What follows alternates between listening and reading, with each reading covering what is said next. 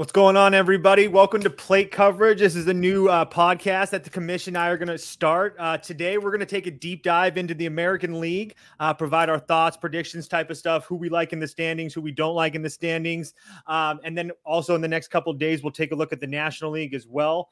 Um, after that, we'll be coming to you once a week doing essentially baseball and betting. Anything that has to do with baseball and betting, whether it be players, teams, stories, anything like that. Uh, we're just here to talk about baseball and betting. So, uh, we'll get into it right now with the uh, American League East. Commish, how are you doing? Doing good, man. I'm excited. You're one of my yeah. favorite people to talk baseball with, and now we get to do it on a weekly basis. I could not be more excited. Yeah, this is awesome. Awesome. The excitement for baseball is in the air. Uh, so many people that I haven't even know know love baseball is in the air, loving it. So I'm so excited for it to come through. Yeah, and you know, I'm even more excited because we both like an underdog to win the American League East. very, very true. Absolutely. And we also don't like one of the teams that everybody seems to like with those pinstripes on their jerseys. So yeah, so American League East, we both like the, the the, Tampa Bay Rays. Why don't you tell the tell the people why what why we like them a little bit or why you like them a little bit and we can dig in.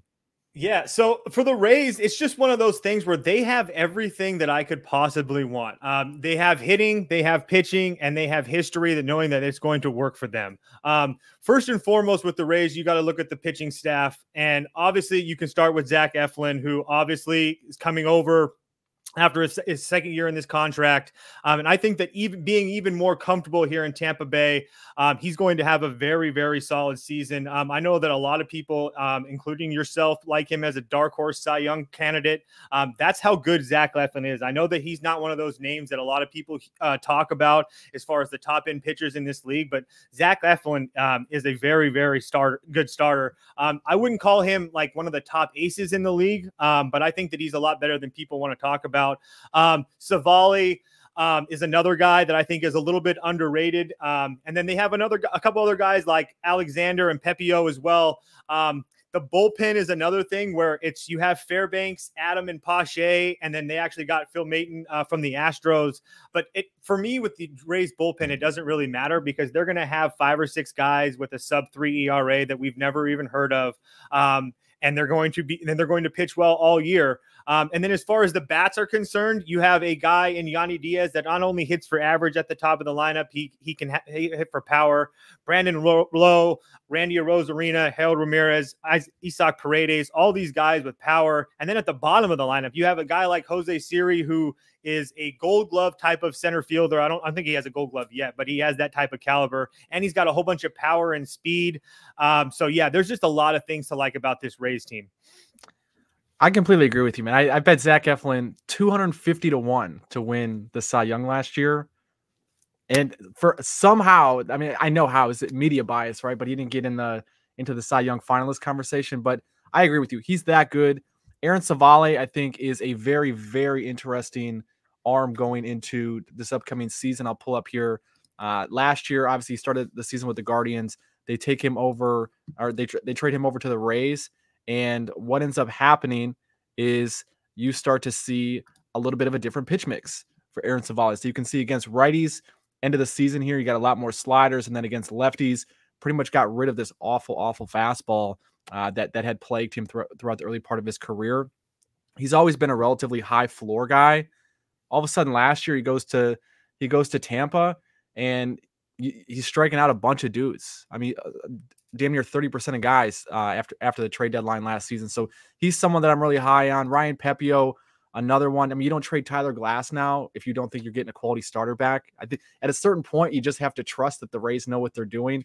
People thought really Zach Eflin, you're going to give the richest contract in in franchise history to to Zach Eflin for a starting pitcher. And then we all saw what he did last year. So I really, really like the top three with with Eflin, Civale, and and Pepiot. And then I know Taj Bradley's hurt to start the year might honestly not be the yeah. worst thing because he's he's not going to have to throw as many innings. Gets a little bit of a delayed start, less expectations, and then we just we've seen Drew Rasmussen, Jeffrey Springs, the Zach Littells, all of these guys who you you might not know them before the season starts, but you're probably going to know if if you're into baseball, you're going to know who they are by the All Star break, and they're probably going to be pretty good. So the Rays for me are just a, a very very high floor team. And I think every single year they're incredibly undervalued on the betting market. I think they're undervalued in, in in the public's mind. So I'm excited to watch this team go to work. Yeah, and I think just one other thing with the Rays, I think is really easy to step back and look and talk, look and see how much they've lost, whether it be Franco or Glasnow um, or um, Sugar Shane. I mean, there's a lot of things. Luke Raley. Um, there's a lot of things that have reasons to not like this Rays team, but it, all I can tell you guys is, is, they've been doing this for five straight years now. Um, and it doesn't really matter who they lose. Uh, they won 99 games last year. Um, it, it's just a team that's an absolute wagon. And until they give us a reason otherwise not to trust them, I'm going to continue to keep betting overs with this team. Yep. No, I completely agree. I there's there's tons of offense here, even without Wander Franco. There, there's we got guys coming out of the minor league. Some of these top end prospects that have been coming through their system. The Curtis Meads, the uh, the Junior Camineros, the the uh, the Josh Lowe. I know he's he's hard to start the season, but they have some nice guys coming back. Shane Baz and the rotation might be coming back. There's there's just a lot of depth for and, for this team. And speaking of that depth, as far as pitching wise, Carson Williams, Mason Montgomery, Brayden Taylor, all some of their top prospects as well, right under that Mead and Caminero yep. level. Uh, that could see at any time. We never know with this Rays team, but they'll probably be very good as well. yep. I completely agree. But why don't you tell the, the people about, uh, I guess, our one big dis I, I, guess you could call it a disagreement with where we're pretty aligned for most of the American League, but you got the Toronto Blue Jays up here finishing second in the division. I'm a little bit less optimistic about their chances this season.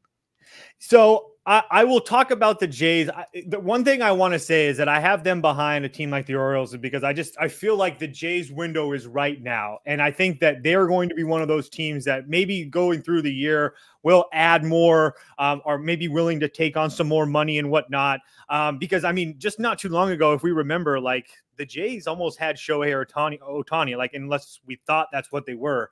Um, but I still think that this Jays team has one of the best rotations in this uh, in this uh, in the American League, at least at least in the American League East. Um, Gausman is one of these guys that continues to show that he's an uh, absolute stud. He doesn't really get run support at home, um, but always been really good. Chris Bassitt, Jose Berrios, Obviously, you can let's just say that there are times that they don't pitch well, but there's also times that they look very, very good. Um, and I think that Jose Berrios is one of those guys where I think that he's going to start trying to turn, start to turn it on this season. Um, there's a lot of things towards the end of the last year that really made me like Berrios.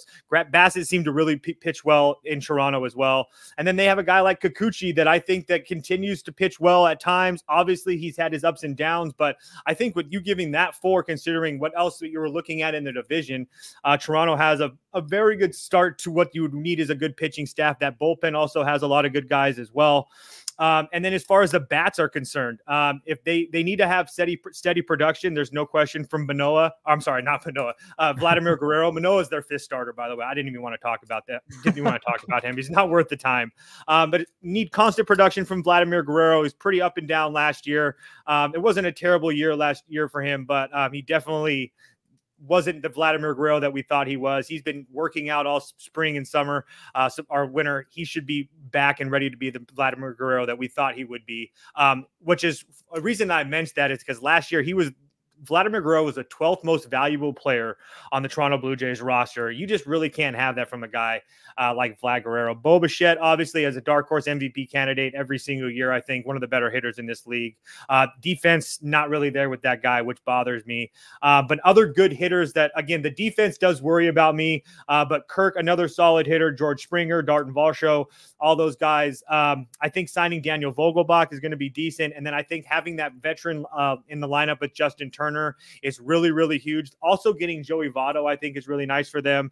Um, like I said, I don't worry about their pitching and their bullpen. I, it's more about their bats for me and if they can stay consistent. But like I said, I think that the window for the Blue Jays is essentially closing in this next year or so. Um, and so I'm I'm banking on that if they're not good, they're willing to take on money or send prospects to get better players to be well. So that's why I have them number two in the East. Yeah, I, I do agree with you. I think this is this is their their last year of are we gonna are we gonna be something? And after this year, if they once again have an early round playoff exit, do we keep Vlad? Do we keep Bichette? Like who is our new core? Because these guys aren't young anymore. You, we've already they've already signed Bichette to a mini extension, but he's coming back up on free agency. Yeah. Vlad's coming back up on free agency. Guys like Chris Bassitt don't really have skill sets that age very well. Gausman, they've gotten a lot out of. Yeah. If, if, if it doesn't really, and Springer's getting towards the end of his deal, he's not getting any younger. If it doesn't work out this year, it's going to be interesting. And and I will say, so you got them finishing second. I have them finishing fourth in this division. I think you gave a bunch of good reasons why they could finish second, and I don't think that would be the craziest thing in the world. But from the regression side of things, there's also some reasons to to be a little bit more cautious with projections with them. So th- this chart that you can see here, this is games started by a team's optimal five starters last year. So if you just take the the five guys who made the most starts for each team last year, the Blue Jays 147 of their 162 games were started by their top five. The, the four guys that you already mentioned, Toast, include uh, Gausman, Berrios, Kikuchi, and and Chris Bassitt. So 147 games. A lot of them started by those four. Injury luck is one of those things that is a little bit more random, a little bit more unpredictable year to year. So I look at this more as a luck metric. Are they going to get 147 starts from five guys again? I don't know. We've we've seen Gausman already banged up in spring training. It doesn't look all that serious right now. I think this is a little bit of a concern. You mentioned a guy like Justin Turner. I love what Justin Turner brings intangibly to the clubhouse. I think he really benefited from playing in Boston last year. And guys like like we just haven't seen a whole lot of guys have super productive years at his age. Going to a really pitcher friendly ballpark now that they changed the dimensions at the Rogers Center. I don't know if he's good because you got to remember they lost Brandon Belt. So even if you think Justin Turner is a good asset, if you, I personally I don't think he's as good as Brandon Belt was. So you're losing there. Uh, the infield defense I think is going to be outstanding outside of Bo Bichette. Mm-hmm. The outfield defense is phenomenal. Uh, I think the, the biggest thing is like who's going to hit, and and yeah. what happens if guys like George Springer aren't healthy? Because last year Springer played 154 games, most in almost a decade.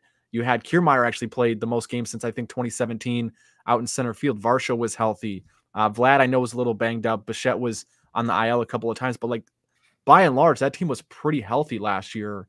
They still didn't have an elite offense. Now this year you're running out guys like Isaiah Kiner-Falefa because you didn't bring Matt Chapman back. You don't have Brandon Belt back at DH.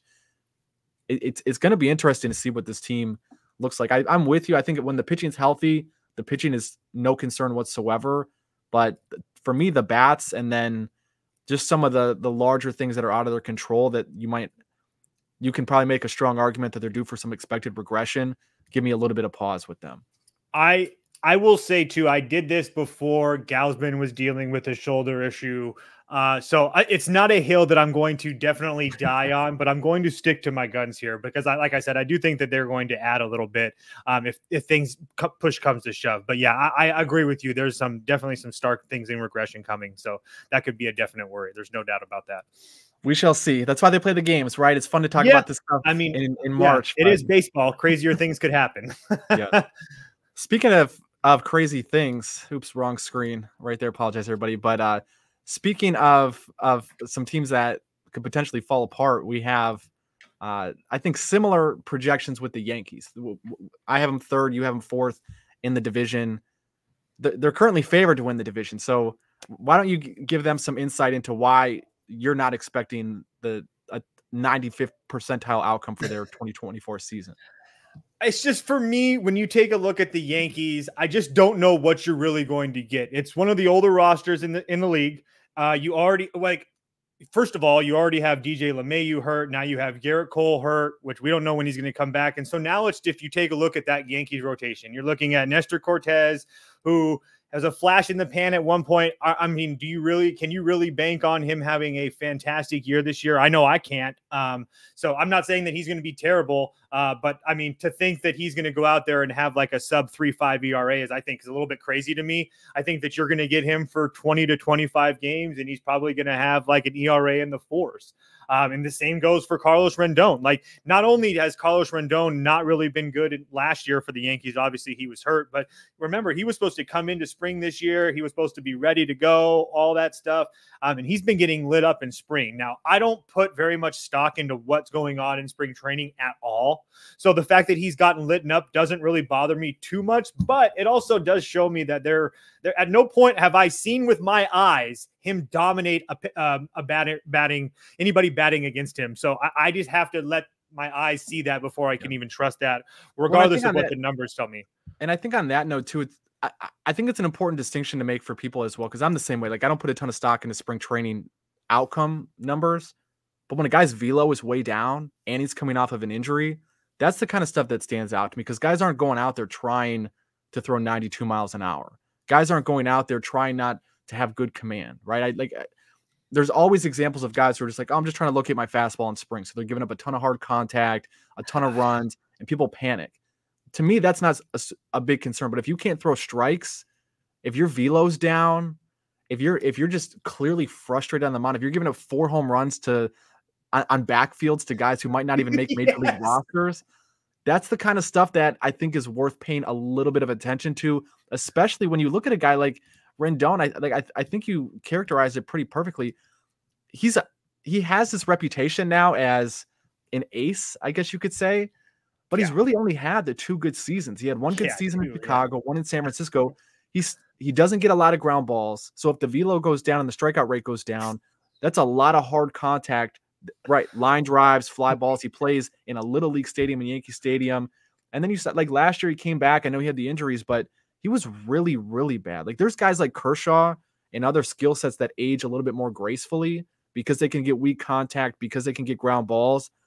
If Rodon doesn't have the ability to get strikeouts, if he can't get swings and misses the way he did in 2021 and 2022, this is just objectively a really bad starter for the New York Yankees and, and Gerrit Cole's out for at least half the season. He's probably going to go on the 60 day IL. I was going to say, I think he's going to be on the 60, if not longer. Uh, yeah. The only, I mean, I'm not a doctor, but just because it's not torn doesn't mean that he's not going to be out for a long time. I mean, yeah, that's your, that's your number one guy in your organization. You're not going to take yeah. any chances with Gerrit Cole. So, yeah, I um, completely agree. And then if you go and take a look at the bullpen, I mean, do we really trust this bullpen that consists of guys like Clay Holmes, Johnny Lasagna, Ian Hamilton, Caleb Ferguson? I mean, all those guys have certain things that you can like about them, but I mean, at no point was Clay Holmes like this lockdown guy last year. I mean, he had his couple weeks here and there, but overall, um, I'm just not really seeing it with that bullpen. And then if you get up into the lineup, um, it's a lot of guys that I don't know if I trust. I mean, do do I? What am I going to get from Anthony Rizzo? I understand that he was hurt last year. I, I get that. Um, but can we? I mean, he's another one of those guys we just talked about. It gets harder and harder to produce as you get older in age. He's one of those guys. Giancarlo Stanton can barely even run around the bases at times. I mean, did lose ten pounds. He's in the outfield this spring. We'll see. We'll see yeah, so it's there. just you go up and down the lineup. I mean, do I expect Soto to uh, hit well? Absolutely, in that stadium. There's no question about that. But Juan Soto, I can also tell you that if Juan Soto starts, if it's like two on, one out, and he takes a walk to load the bases, and then somebody and then Judge flies out and then Rizzo flies out. The New York fans are going to hate Juan Soto. Like this whole walking thing and stuff like that. I, I mean, I, the fans could turn on him in an instant. Um, I'm not saying that that's going to happen. I'm just saying there's a lot of ways that I think that this team could not really go the way people think they do. I don't really like the fact that Gleyber Torres is going to be your leadoff man now. Um, I think DJ LeMahieu would be really, really really important to that team at the top of the lineup if he's healthy. He just hasn't been healthy lately. Um, Volpe, Trevino, all the, those guys at the bottom of the lineup, I'm really not there. So I, I, honestly, I'm not a Yankees hater, but I just don't see it in any way, shape, or form with this team. So I'm a little bit different. I'm like I gut situational type of person. Commish is going to give you everything that you need to know about velo and all that stuff. So he can talk about that a little bit more. But my eyes, my gut, and what I'm seeing, there's no way in hell this Yankee team is that good. No, I, I agree with you. Um, I bet them under 94 and a half wins. I think they're already down to 91 and a half or 90 and a half. Yeah, they are. I think the biggest thing with them is their their peak is undeniable, right? You have Aaron Judge and right. Juan Soto in the lineup. If Anthony Rizzo was healthy, if Giancarlo losing 10 pounds and he's actually moving better, of course. I mean, like those are four guys right there on top of a very good hitter in Gleyber Torres. That's five really good guys in the lineup, and that's before mentioning like Jasson Dominguez potentially coming back and some other key bats. I think the biggest thing for me is, and we talked a little bit about it pre-show, from a betting perspective, if you're betting a team to win over 90 games, or you're betting a team in a tough division to to win that division, especially the Yankees aren't at long odds. I mean, it, that's, that's not a, a very fruitful outcome. Uh, I think they're at like plus 165 right now. If you go hitter by hitter in this lineup, Soto, I think, is probably the only one that is immune from any critique at the plate. I, I wish he would swing more often, but he's going to hit 35 home runs. He's going to be on base. You have a He's thought. immune from anything at the plate as far as us. But if you're a Yankees fan and you're getting Very ready true. to pay him all yep. this money and you guys aren't doing well and he's walking, I mean, that's not going to be okay with you. Yeah. I'm just saying. And and he, I mean, he's in my opinion way too patient at the plate. Yes. I, I think there's there's good plate discipline and then there's just being too passive. And Juan Soto last year, I'll pull up his uh I'll, I'll pull up his numbers right here for for his plate discipline metrics. Really I mean, it's honestly just it, it's worrisome in some respect. I know he's going into the final year of his contract here, but the fact that he is so so patient at the it's plate. almost can... like he's too good. Like when I say that, like he can see it so well and he knows what a ball and a strike is, but at the same time, like it doesn't work. It doesn't matter yeah. at times because the umpire isn't going to give him that call, even if it is off the plate. And he he doesn't take it in his head. Okay, I'm not getting this call off the plate today, so I got to defend. He doesn't do that. Yeah. He will take it and was take it every single time because he's so disciplined. But yeah. I think that that can also be a negative at times as well. Yeah, 100% agree. And this is like, so this is, you can see based on areas of the zone last year, what was his swing percentage? You can see these gray bars right here, the league average. So does a really good job not swinging at pitches on the edge of the zone, which are which are difficult to make quality contact against. And then, of course, you don't want to chase bad pitches that are really far out of the zone. That's you see guys that have high strikeout rates and things like that. So so does a really good job not swinging at those pitches.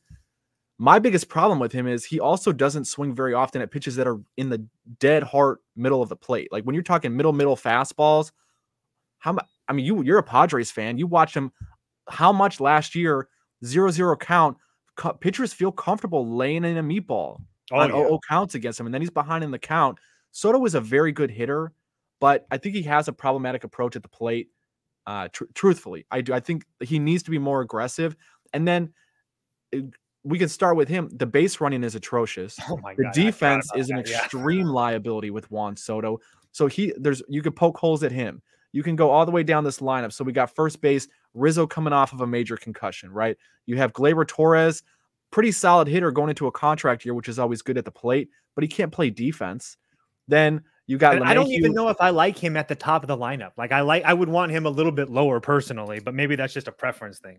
I, I like I think whether you want him first or somewhere else in the lineup, I think at the end of the day, like he's not a he's not a superstar, right? He's not yeah, Aaron okay, Judge, yeah. bat lead off. So I, like I think we're fine there. LeMahieu already banged up, showing some real signs of age related decline.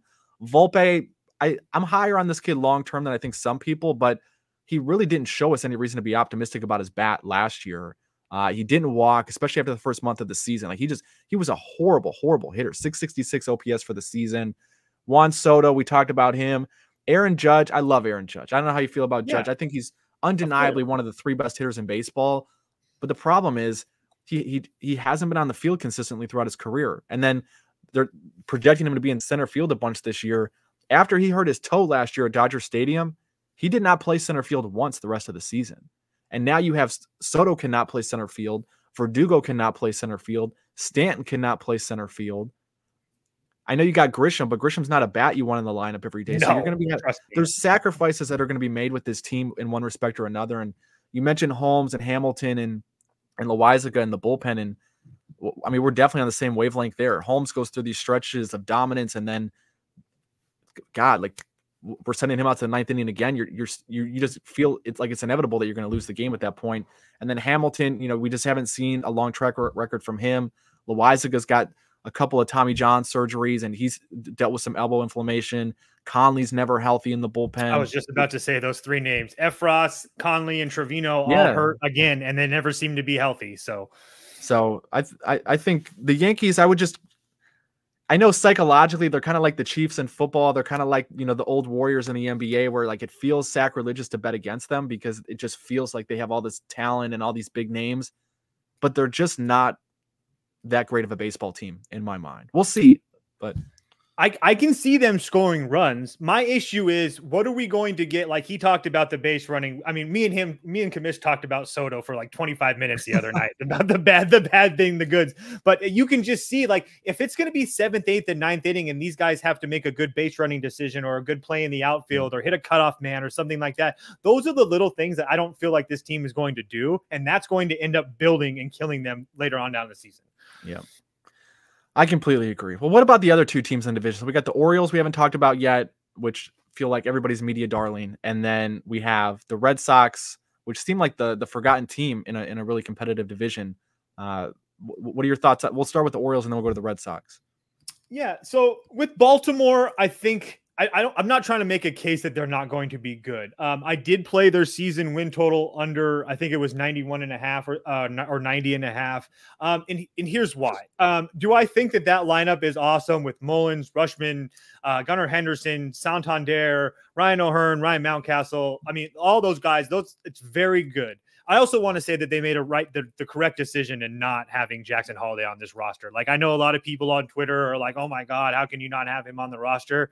For that kid and his development, that is the hundred thousand percent the right decision from that team. I don't know how you feel about that, Commish, but that's I completely how I agree, man. That. He played 36 okay. games at AAA last year. He's 20 okay, years cool. old. We we can wait a few weeks, maybe a yeah. month, make sure he he feels confident that it's not cold when he gets to Baltimore and then everybody's riding because he's not batting 300. Give him a little bit. I, I well, and not to mention like who you you I it's just like the All Star like All Star games. Like who you gonna sit to put him in the lineup? I mean, that's who you're gonna take off. Yeah. So and if you can't play him every day, like like let's say you're point? not gonna play him against lefties, then you're stunting his development. Then he's not getting yeah. every day at bat. So I, I agree with you yeah, you're taking a whole bunch of at bats away from this kid. So anyway, I just wanted to put that out there because this is a baseball all inclusive show. So this is the whole point of this is trying to talk as much baseball as possible. Uh, so yeah, their batting is very good. I'm not there with the pitching. Um, do I think that Corbin Burnes is going to be decent? Yeah, um, but I, am not uh, the biggest Corbin Burnes guy. Um, I do think that he's one of the better pitchers in the league. But as far as an ace of the staff, um, I, I'm just really not. I don't think he's one of the higher end aces. That's just me. That's just my personal opinion. I think that playing in Milwaukee is going to be a lot different than playing in the AL East on a daily basis. Uh, Grayson Rodriguez, stud. Um, I think that he's going to be a star. I think he could be a dark horse Cy Young candidate. I really do. Uh, but as far as Wells, Kremer, and Irvin, I don't really know what to expect from these guys. I know that they all pitched really well last year, and there's a lot of positive things to look at them. But I honestly think that they could all have 4 3 ERAs or higher. And if that's the case, then you're going to be asking that bullpen that's going to be asking a lot um, because Cano, I don't think Cano's going to close. I understand they have Kimbrel, but I don't think he, he really likes closing. Um, I think that he likes his role in that seven in that eighth inning. Um, and I don't really trust Kimbrel on a on a daily basis, let alone at all. Um, and then Colombi or Colombo is what I like to call him. Tate, Perez, Webb, all those guys. I just think that are average arms that pitched really well last year when it was on a very big high. Um, I think there's a lot of good things to think about this Orioles team, but in general this year, I'm just not as high as everybody else. I'm not trying to say that they're going to miss the playoffs. I just don't think that they're as good as everybody thinks they are. And there's other negative things to point out, like how young they are, how weak the pitching staff can be at times. Because if one of those guys goes down, that mean that makes it even more weaker in my in my eyes. So um, I'm just again, do I think that they're going to be in the playoffs? Yes. I just don't think that they're just this some machine that everybody like he pointed out, the media darlings. Yeah. I'm just not there with them yet. I'm not bold enough to say that they're going to miss the playoffs either. But if there was one team that I could see going from 100 wins to yes. missing the playoffs, it's the Orioles. In a, in a few reasons. I, one. If you guys know me, I would love to come on this show and tell you that the Baltimore Orioles are missing the playoffs. I would love to, Atlanta Braves fans, just so like I told you guys is your guys' fate last year, but I can't do it just yet. But just hold on. Go ahead, go. So I think I think the pitching staff for me is the, the most notable point to touch on because obviously Corbin Burnes was this this huge offseason addition.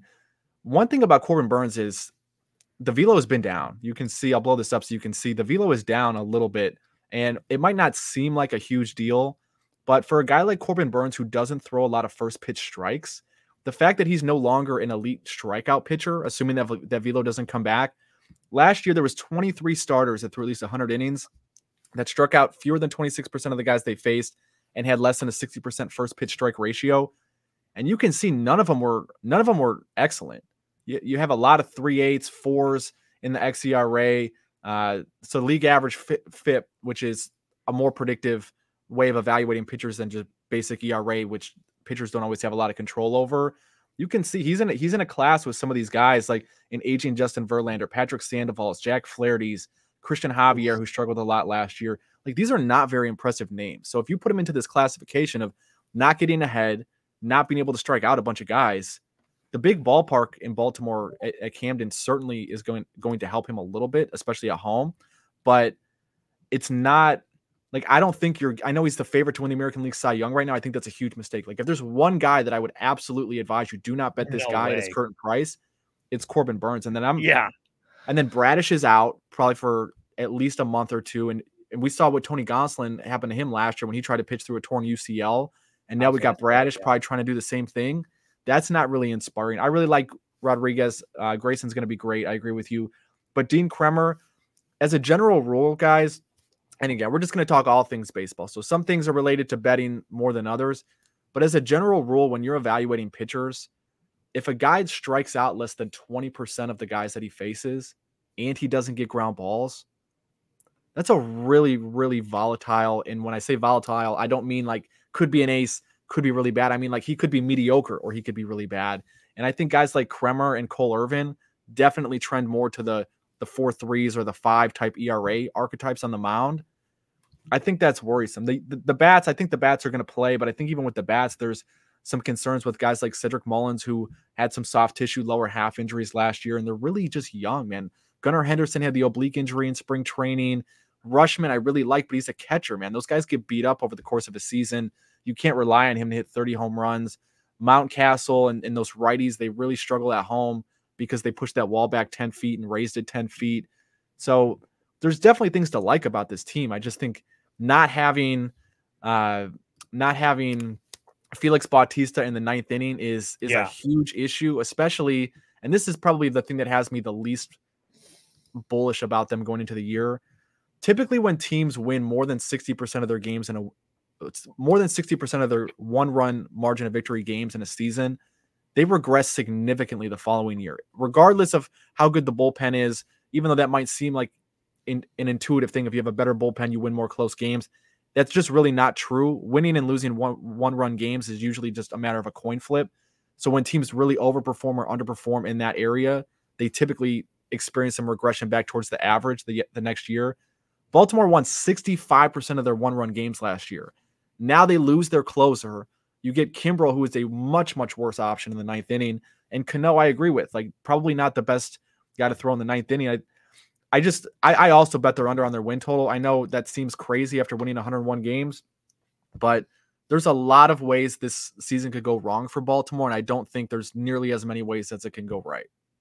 And it's not again, it's not that neither one of us think that they're going to be like a bad baseball team, right. but there's nobody it doesn't there's not a lot of people talking about the things that what could go wrong for them. Not to yeah. mention the fact that the guys that they have in their uh like their major prospects like Jackson Holliday, Coby Mayo, Joey Ortiz, Heston Kjerstad, all those guys are hitters. No, there's no arms coming up obviously they have arms, but I'm just saying like their major prospects aren't yep. arms. So it's not like they're getting any more help. And I'm telling you guys, you have to have arms to compete in this league. Like there's no question about that. And one other thing that I just wanted to touch on uh, with um, Mr. Corbin Burnes as well. Corbin Burnes is going from a division where he faced the Cubs, Cardinals, Pirates, and Reds over and over again the last three years.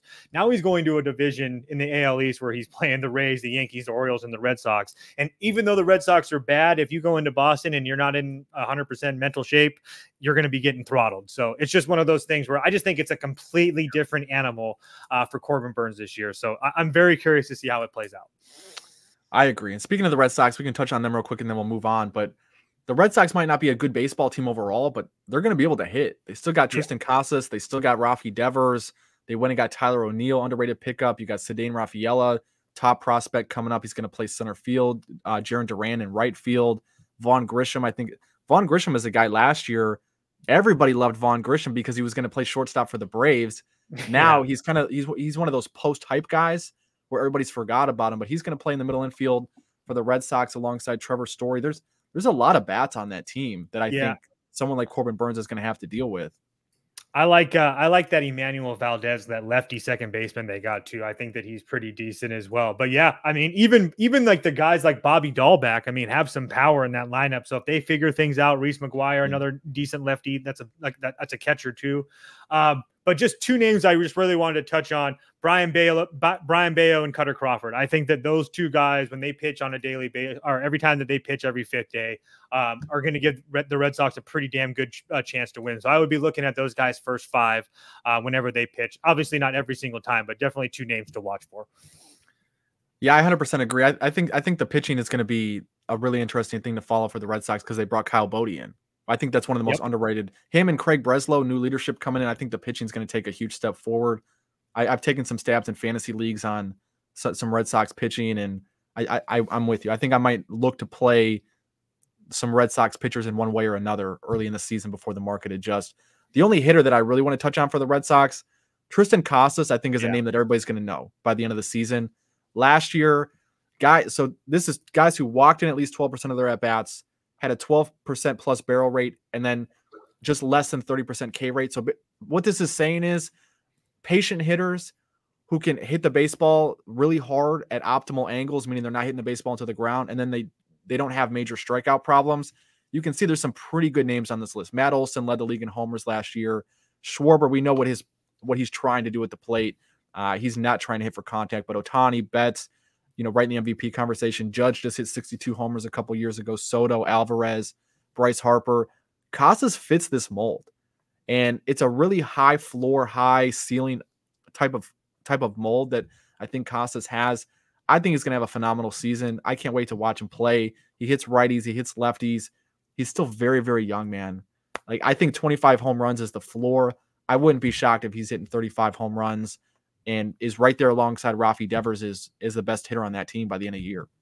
Yeah, I 100% agree. And one of the things, this isn't like numbers, this is just me reading about baseball and knowing about baseball is that he's one of those guys. I he has a lot of confidence in himself. He was he took a lot of crap from the veterans um, and how he went about his day to day basis. He was he's one of these guys that like believes in like the power of the sun and good energy and stuff like that. And I, am not even mocking him. I'm just saying that he was very confident in what he did. He was confident in his ability. He went through and did his work on a day to day basis. And like and like Commish just showed you um, it showed off in a major way. And being in a group with those names um, is a huge accomplishment. And I, I think he's going to have a fantastic year as well.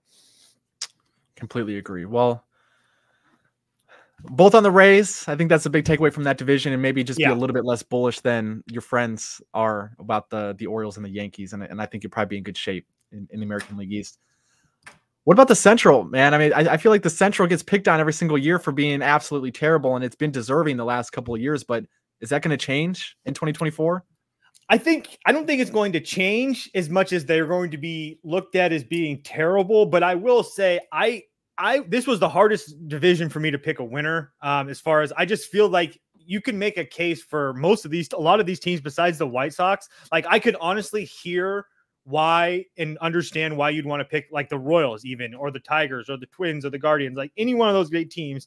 I could feel that I can be talked into at least saying that they could be the champion of this league. My hope is that there is three or four teams in this with like two or three weeks to go, and there's just like an all out sprint to the finish um, on how it plays out. So um, I think that the Twins are at the top, uh, but it's like a slim margin. But um, yeah, I'm curious to see what you're thinking as well.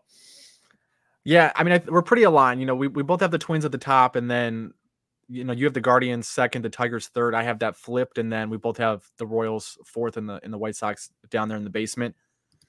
For me, the biggest thing is the, the Twins pitching is is unreal. You, Pablo Lopez at the top with Joe Ryan and Bailey Ober. I think those are two very very talented pitchers. And then you have a guy like Chris Paddack who's never been bad when he's been on the mound. He just has never really been healthy. Uh, yeah.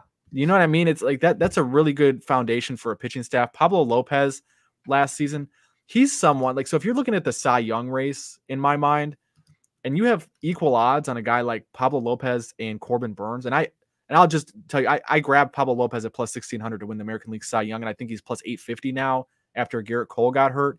Last year, there was 11 pitchers that threw at least 65% first pitch strikes and had a, a ground ball rate higher than 45% that threw at least 100 innings.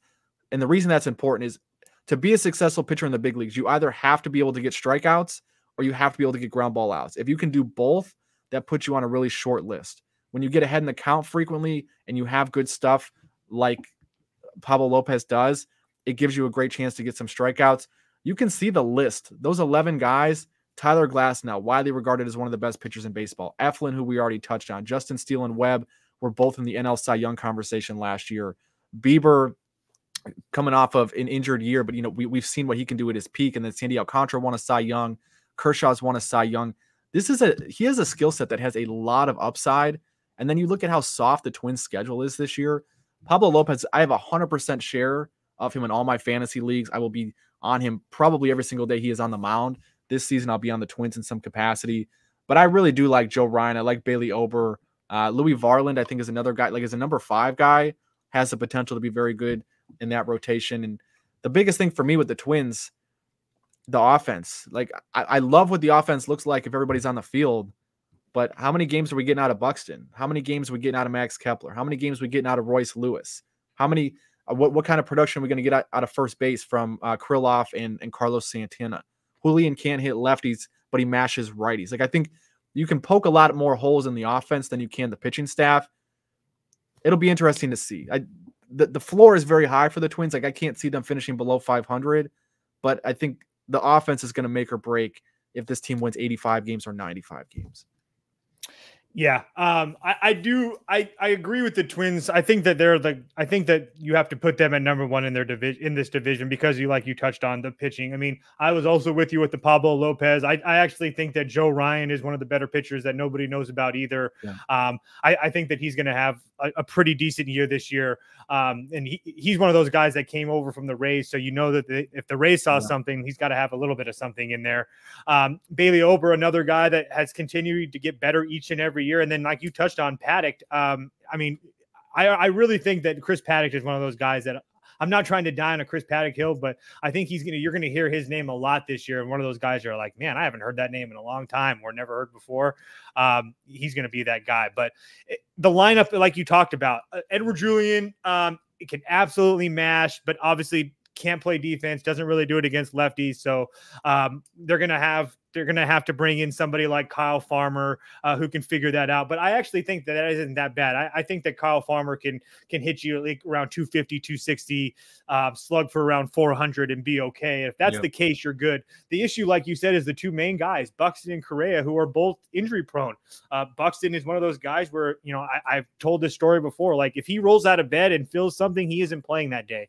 So he's saying this spring that he feels good. It's first time he's ran around. He, I feel like he says that stuff every single single year. I could be lying, but I just, I mean, I just feel like we say he's in the outfield at least. Year. Like I think the one difference this year is he's actually played the outfield in spring training, but we saw he's already had back tightness, right? I was gonna say that's and that's cool, but he also yeah. didn't play the outfield last year, so now you let his body get used to not playing the outfield. I'm not a doctor, mm. but he's used to not playing the outfield, and now he's gonna go play the outfield every day, and we're expecting him to play 150 games or 30 games. I don't. I think it's optimistic. there. Yeah, yeah, it's very optimistic. Yeah. Um, so I'm just not there with that. Again, I think that when he's in the lineup, he's going to be fantastic. Correa has that ankle issue. Um, I'm sure he's going to be fine, but again, that's something that he's going to have to deal with at all times. Royce Lewis, fantastic first round draft pick. We saw what he can do in the playoffs last year, how awesome he'd be. Um, we saw it in the regular season too with all the grand, grand slams that he hit. Um, another guy with a lot of injury history, two, two ACL surgeries already. It's just a lot to ask. So, do I like that they added, you know, like a Carlos Santana that's a nice veteran lineup at the bottom of the lineup or bad at the bottom of the lineup? Absolutely. Ryan Jeffers secretly kind of mashes. So, can't play defense very well, I don't think, but can secretly mash. And then Kirilloff at the bottom is pretty damn uh, for a nine hitter, that's pretty damn decent. So, and then you guys got guys on the bench like Willi Castro, Manuel, Manuel Margot, and Christian Vasquez, who I trust Christian Vasquez behind the plate, and he's shown that he can hit decent. At times, he can get hits when you need him to. At times, um, and then Margot is a pretty solid player. So there's just a lot of things to like about the Twins. So there's also a lot of things that there's also a lot of reasons to pump the brakes on the Twins, and that's what makes this division so fascinating because there's other teams in there like the the Royals and the Reds that are spending money to get even better um, and making it kind of hard to get there. Yep. But why don't we go to the Guardians next? You had the Guardians second in the division. So what what has to go right for the Guardians for them to unseat the Twins? Um, their young hitters are going to have to start hitting. Um, that I mean, Steven Kwan, I'm not expecting like a power guy, but we need guys like Bo Naylor, who is a catcher who I mean, defensively, I think that you have seen him do things that other catchers in this league can't do. I think that he's one of the most, or if not the most athletic catcher we have in this league, which I think that it just brings a different dynamic to this team. Um, guys like Will Brennan, Tyler Freeman, Brian Riccio, or however you pronounce his last name, I apologize. Riccio, yeah. Yeah, like all of those guys really not good at the plate, but I just feel like if they can just take a couple little baby little steps forward, and you have guys like Naylor Ramirez and Gimenez, who was an all star last year, um, those guys like that, or at least all star caliber, those can be will be enough because when you scroll down to what they're doing with their pitching is that's where I think that's they're going to be head and shoulders above everybody else, including that Twins team that I talked about with Bieber, McKenzie, Tanner Bibee, and Logan Allen. Um, for the guys that are healthy right now, I mean that's as, as good as a four that you can get. Um, they, they, have other guys as well, but then in the, the back end of the bullpen, Clase, Barlow, uh, Eli Morgan, Hunter Gaddis. I'm not like the biggest uh, Eli Morgan fan. I mean, but at the same time, I think that he's going to be solidified in that like middle relieving role. He can eat innings when he needs to. Um, the only issue that I have, and I'm sure that uh, Commish is going to talk about a little bit more, is Clase and how much he's been used and whatnot. Um, but I think that the one other thing I wanted to touch on is this Cleveland team, very, very young and they went from having a manager who is very old with a young man's soul in Terry Francona, and now they have Stephen Vogt, who's not even 40 years old himself. So I can feel like it, everybody rallying together, and they're uh, this young group of team, and they're playing awesome. I can also see it like maybe unfolding a little bit, and again, that just goes back to what makes this division so interesting for me. Yeah, I I agree with you, man. If, if the Guardians won the division, would I be shocked? I, I, wouldn't. But if they finished fourth, I probably wouldn't be super surprised either. I think. Yeah. The, the the, the biggest thing for the one of the biggest things for the Guardians, and, and I wrote about this about a month ago. That their outfield offense has been consistently one of the worst in baseball. This, so this is since Michael Brantley hit 20 home runs all the way back in 2014. Nobody else. I mean, this is a decade. This is a legitimate decade no other primary outfield for the Guardians has hit 20 home runs. In a league that you need home runs to win games, especially to win in the postseason, the Guardians have consistently devalued hitting the long ball in favor of defense, in favor of guys like the Myles Straws and the the uh, Oscar Gonzalez's and the Steven Kwans. And not, not that those guys don't have utility, but to have three of them in the same outfield has right. really hurt this group's offense. And you can see where they've ranked relative to the rest of the league since 2017, 26th, 29th, 28th, 30th, 30th, 30th, 30th. So for the last four years, they've been dead last in outfield home runs.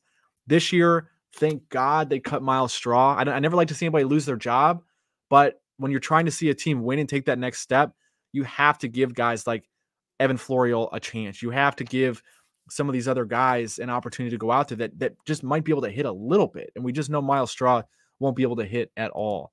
Um, Pitching wise, I think Shane Bieber, and I'll, I'll, I'll roll over to this here in a second. Shane Bieber, to me, I know a lot of people have lost. What would you call it, Tobes? Like the, the luster or like the fandom with a guy like Shane Bieber because he struggled last year and had the injuries. But luster, he, yeah.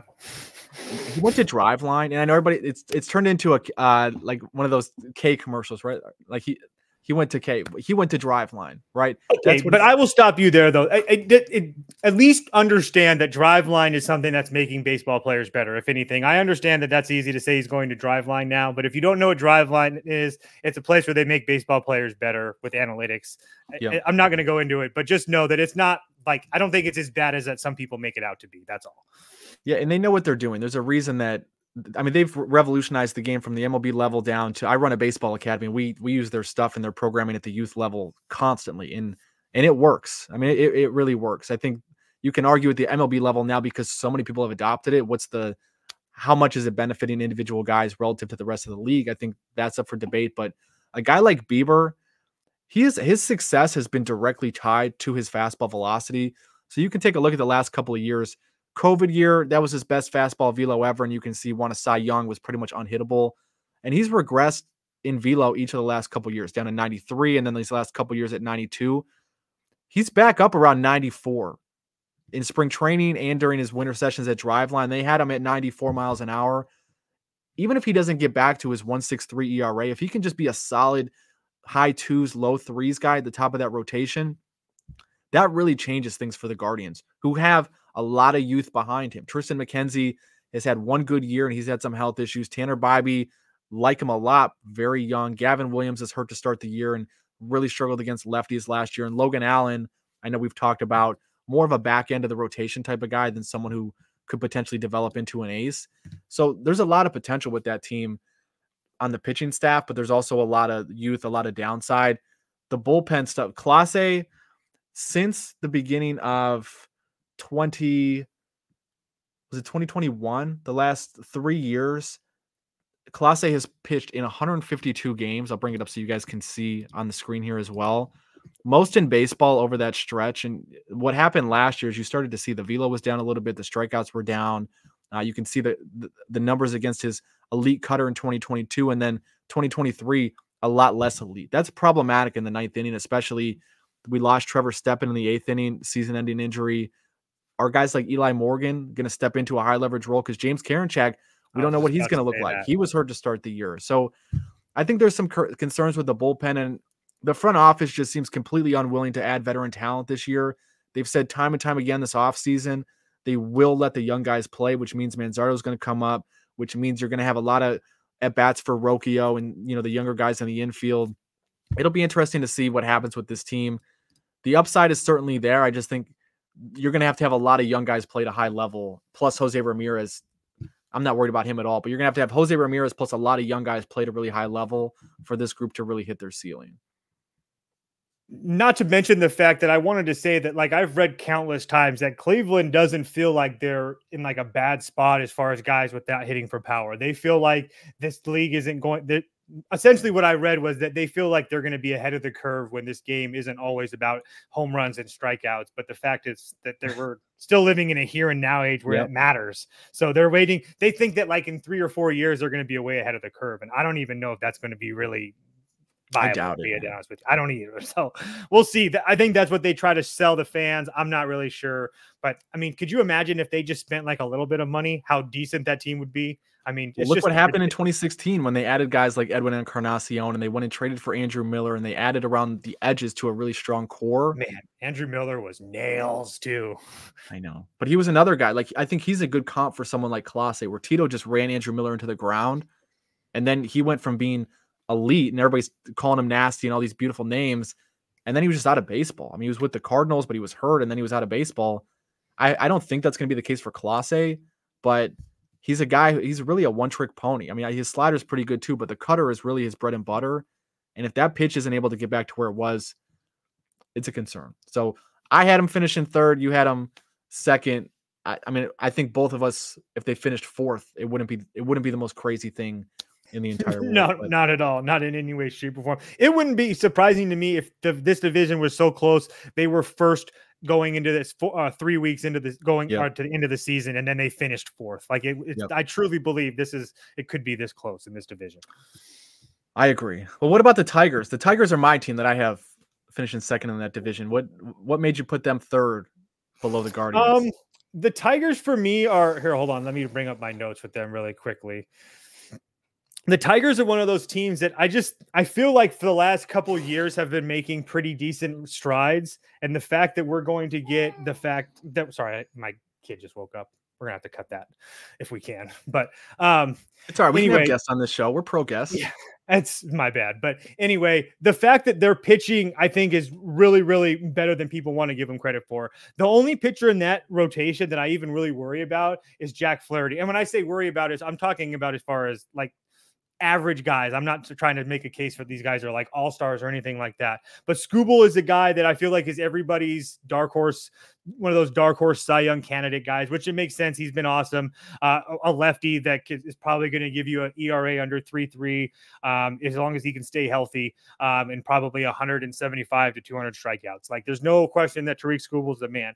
It's the question is what do you get out of Kenta Maeda, Casey Mize, and Reese Olson? I I'm still a guy that I think Casey Mize, who's a first round draft pick, one of one type guy, I still think that he's going to pitch well at some time in his career. I could be wrong at that, um, but I, I don't think that you get drafted that high and, and, for no reason. And, and he's shown it some at some points in the major league as well. Reese Olson is another guy that, uh, again, I, I just coming into this year, if he can have an ERA around four or under, and you know, like 100 and you know 130, 135 strikeouts type of thing, um, I think they're going to be fine because if you remember last year, their bullpen was actually secretly pretty good. I mean, Alex Lange and Jason Foley, two guys that are pretty damn decent, um, that are really, especially Lange, a really good strikeout artist. Shelby Miller is a guy that came over from the Dodgers that is actually, I mean, actually secretly pitched really well for them last year. Andrew Chafin is a guy that is a veteran presence in that bullpen. That's, I mean, I'm getting nothing fantastic, but he's not a, a, a reliability, that's for sure. A liability, excuse me. And then if you take a look at the lineup, Parker Meadows, um, one a second round guy that I, I do think is going to be pretty good. But the three guys that I wanted to talk about is Spencer Torkelson, Riley Greene, and Kerry Carpenter. All those guys that can hit for power, uh, they can hit for average, everything that you can want, they are there. Not to mention they're all first round draft picks in this organization. Um, I, and then you have a guy like Mark Canha, who I think that we saw with Milwaukee started out pretty high when he got traded, obviously, and then kind of went down. I think that's a very good solid piece in this lineup. Um, Colt Keith is one of their younger guys as well. I think Gio Urshela is like, I'm actually like a Gio Urshela guy. I think that Gio Urshela is a pretty solid baseball player. And if you're going to have him playing third base essentially every day with Matt Vierling coming in and giving him a day off or whatever, um, and he's batting eighth, I think that's a pretty solid eight guy. Um, and then Jake Rogers is a defensive specialist. And then, and then obviously you have Javi Baez who can't hit for shit, but at the same time, he's still one of the best defensive shortstops in, in Major League Baseball. Uh, and there's and just a no really good left side of the infield with with Yeah, Javi so they're- and Gio Urshela on the left side of the infield. That's that's phenomenal. It, two of the Yeah. most important positions on the diamond. So I, I just think that the like I said, I think the Tigers are a little bit better than people want to give them credit for. There's just issues with that pitching staff, with how young they are, and Jack Flaherty hasn't really been good for a long time. But I think the Yeah. bullpen is much much better than people want to give them credit for. And if Mize, Olson, and Maeda can be somewhat confident, I, I really think that they're going to be a lot better than people think. Yes, you, you you mentioned the bullpen. I was just pulling it up while you were talking right there. And the, the bullpen last year, you can see this was after the All Star break. And here's the Tigers. So whip, one of the most important characteristics when you're looking at bullpen. How often are we allowing walks plus hits per inning pitch? So basically, just how many base runners per inning. Top half of the league in whip, and then FIP again is a more predictive measurement than just looking at raw ERA when you're evaluating pitchers and pitching staffs. And they were 11th. So top half of the league bullpen the second half of last year. And now you go add a guy like Andrew Chafin, who struggled last season with Arizona, but the last really good season Chafin had was actually with the Tigers. And now you get him back. You add a lefty to this bullpen outside of the ninth inning. I think there's only room to go up for that group. I really like Will Vest, who's probably going to see some high leverage work in the eighth. So I'm with you on the bullpen. And then you have, I mean, you said it so so perfectly, right? The offense, the guys that the Detroit tanked for, Riley Greene, Spencer Torkelson, the Colt Key, like all these first round picks, Casey Mize is coming up. They're finally here. Like Houston tanked for Correa and Bregman and Springer. Detroit, Detroit's guys just haven't all been here. Riley Greene's been hurt the last couple years. It took Torkelson a year and a half to get going, but last season Torkelson, once he got going, homered at a 45 home run pace the last two months of the season. I mean, you talk about a guy that has a ton of upside, and then yeah, Ta- Tarik Skubal. You want you want to know how good he was last year for people who love data and love to nerd out like me. After he came back, so this is after he was finally stretched out in late July. He wasn't on strict pitch counts anymore. Best FIP in baseball, and it wasn't even close. Ahead of guys like Glasnow, Michael mm. King, Grayson Rodriguez, and you just again like you you look at guys. Can they get strikeouts? Can they and can they avoid walks? Nobody did that better last year than Skubal in the second half of the season. North of a 30K percentage, virtually no free passes, which I think separates him tremendously from guys like the Cole Ragans and you know, Thank of these- you. so I love Skubal. I think the back end of that rotation, I, I like to think that they're going to be fine. I think Flaherty and Maeda, they're they're better than running out some of the guys that they've had the last couple of seasons. If Reese Olson can take a step forward, that's a pretty solid one-two. But it's really going to be the offense that's going to make or break for them. I mean, like, you need Riley Greene healthy. You need Torkelson to keep Right. improving. Colt Keith has to be at least league average at second base. Parker Meadows, I think, is going to swallow everything in the outfield. I think the I think the Tigers have the potential to be a top 10 defense, especially you mentioned Urshela and Javi over there. I like this team. I I bet them to win 80 plus games. I know the line has moved a little bit at this point. I really feel like that's where they end up. I feel like they end up plus or minus 80 by a couple of wins. I don't think they have as good of a pitching staff after Skubal as the Guardians or the the Twins. The offense, I think, is probably better than the Guardians, but not as good as the Twins. So I I it's tough for me to think they're going to win the division outright. But I, I'm with you, Toast. I, I think they're going to be in the conversation for the vast majority of the season, and anything less will be a huge disappointment. Yeah, if they're not in, yeah, I would agree. It's a, it'd be a huge disappointment. They also play like just for those that who do bet baseball. Anytime Detroit plays a home game that's like at noon Eastern or one Eastern or something Yep. like that, that's a, one of the best times to bet this team. It's like they never lose during the day at home. It's just absolutely ridiculous. Yeah. So, yeah, I agree. Well, Royals and then White Sox. What do, you, what do you got for the Royals? And then we'll talk about the one or two guys on the White Sox that are worth talking about, and then we'll, we'll move on. You know, the Royals and the Tigers are uh, very similar to me. Like you can find when you start looking up and down the roster, you find a lot of things you like. Like for me, I start de- obviously with the Royals with the pitching staff. Cole Ragans. Um, if you're watching this show or listening, I'm sure you know who this is. Um, who came over in the trade last year um, and absolutely set the world on fire. Um, I personally think that Skubal's a little bit better than him, um, but that's just that's just me personally. Um, but two guys that they brought over from my Padres, Lugo and Wacha, I, I can assure you guys those are very solid arms. Um, both of those guys uh, came over in uh, San Diego last year and pitched very, very well. Uh, Michael Wacha is like something like 23 and four the last three years or something like that. Um, so there's no question about like those two, those three, Ragans, Lugo, and Walker are a solid three. Brady Singer can't really get worse than what you did last year for them. So I think that anything positive and a positive step for them is again, you're adding, you're going to be better than what you were last year. Um, he wasn't as bad as it seemed last right. year. I mean, they, they, had a horrific defense behind him, and he was a, he's a big ground ball guy. It, it reminds me of Eduardo Rodriguez for a while with the Red Sox. Every year, people were like, "Oh, he's got so much talent," and then he, and then his numbers just weren't that great. Everybody's like, "Oh, you know, like, are, are we just wrong about him?" And then he went to a team that had a halfway decent defense in the Tigers, and he actually looked pretty damn good the last two years. Yeah, and then as far as the the uh, bullpen is concerned, James McArthur. I mean, again, not, none of these guys are like uh, amazing, amazing arms. But is you're looking at the context of the AL Central, they're going to be all right. Will Smith, a guy that came over from Texas, that I mean is a veteran that continues to pitch well. John Schreiber coming over from Boston, Nick Anderson coming over from Atlanta. I mean, they, Chris Stratton coming over from Texas as well. Like there, there's a lot of guys in there that as long as they pitch, as long as they're just not getting absolutely throttled, there should be just fine. And then that's when you get to the offense that you find a lot of things that you could possibly like. I mean, Bobby Witt Jr. is is a dark horse Cy, or Cy Young, dark horse MVP candidate. Vinny Pasquantino, if he's healthy, um, can definitely hit you close to 300 and slug close to 500 um, and probably hit you, I don't know, 25 to 30, if not more home runs. Um, Salvador Perez obviously continues to just do whatever he does on every single year. Um, it's hard to say anything bad about Salvi. MJ Melendez doesn't have to worry about catching or anything like that. Now, all he has to worry about is playing outfield and hitting the baseball. And that's what MJ Melendez does. He can hit Hunter Renfroe, Adam Frazier.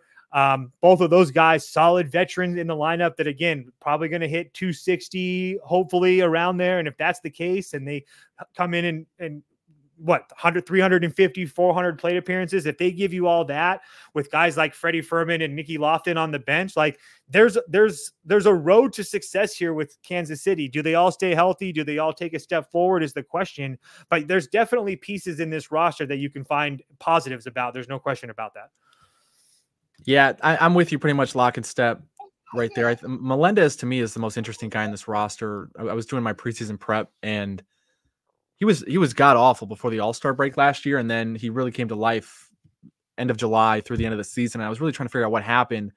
And if you go look back at some of his his swings, it seemed like he was starting his hands a little bit lower, a little bit closer to his body earlier in the season. And second half, he came out little bit of an adjustment to where he was starting. It looked like it was letting him get on plane a little bit more. And you can see the splits here. I mean, the OPS jumped over 200 points. The batting average jumped 70 points. Uh, he still walks at a high rate. Like this is a guy who should be solidly league average at worst. And like you said, he doesn't have to catch. He doesn't have to worry about a, a much tougher position defensively. He can just hit. I think that's a huge benefit for them.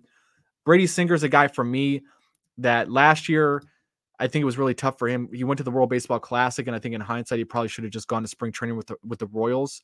He had a really, really strong 2022, and then last year just lost uh, some of, some of that strikeout stuff, and then was overly reliant on a really bad defense behind him.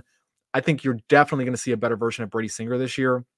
My biggest piece of advice from a betting perspective with this team is Cole Ragans probably isn't the goods. I like Cole Ragans. He's not bad, but that's long, blasphemy long on Twitter. History. Don't let the people on Twitter hear you say that, Commish. Cole Ragans can't do anything bad on Twitter. Somebody asked me what what my take was on Cole Ragans going into this season, and then I sent him back my, my detailed notes. I mean, you can find it like in my Substack, and I've tweeted it too. Like some pretty extensive notes on Cole Ragans. I like him. Like, his velo was way up last year. His strikeouts went way up, but he still didn't throw a lot of strikes. The teams that he faced really weren't that great in that stretch.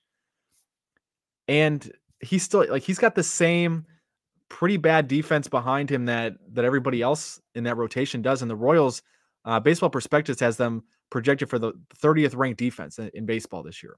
So Cole Reagan, I just don't love him, man. I I know people are gonna crucify me. They're probably gonna think, oh, Commish doesn't know ball when, when they when they hear me say this to start the season. But there's just a lot of things that I don't love about Cole Ragans relative to other guys that we've now put him in the conversation with, like Pablo Lopez, like Tyler Glass. And Like those are guys that I hear Ragans being compared to, and I just think that's insane. Truthfully, he's gonna be good. He's not gonna win a Cy Young. I mean, I would I would take whatever odds someone gave me at whatever dollar amount, and I would bet him to not win the Cy Young.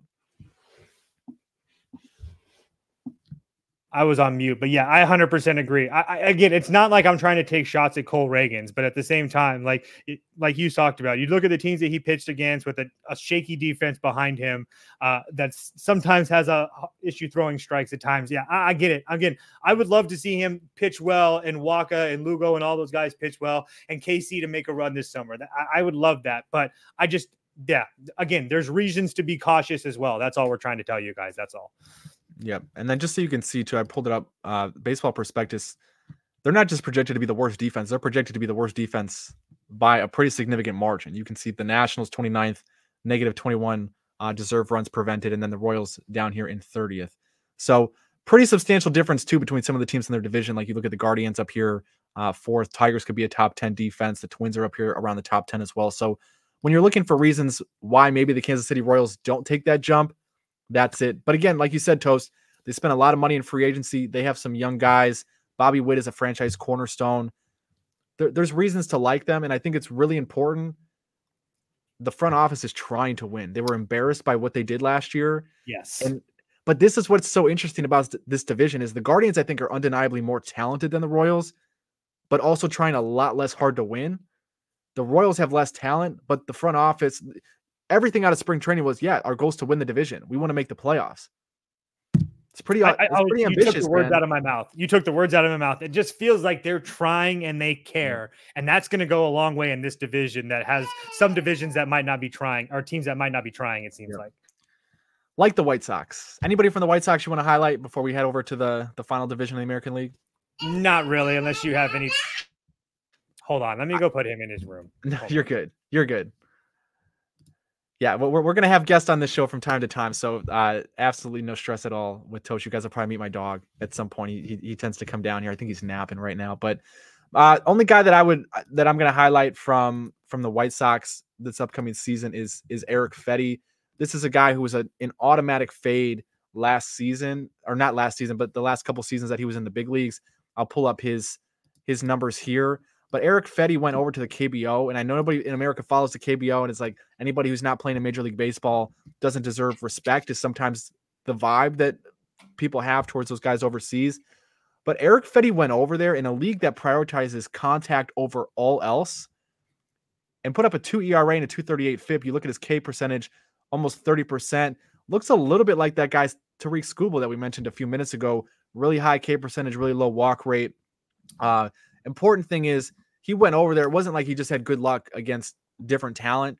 He completely revamped his arsenal, added a sweeper, so he's getting more swings and misses against righties, revamped the changeup, getting more swings and misses against lefties. Do I think he's going to win a Cy Young this year for the White Sox? Absolutely not. But is there one guy who, if if I'm every single day, if I'm looking to potentially fade the White Sox, there if the there's one guy in that rotation that would give me pause, it would be Erick Fedde, especially to start the year. I think I think there's potential that he has a really nice season. If you're look if you haven't done your fantasy draft yet and you're looking for a late round flyer that could potentially have a really good year for you, I think Fedde is that guy. I also think that the White Sox are similar to the Royals. I know they just traded Dylan Cease, but the White Sox are a team that was really, really embarrassed by what they put on the field last year in the last couple of years.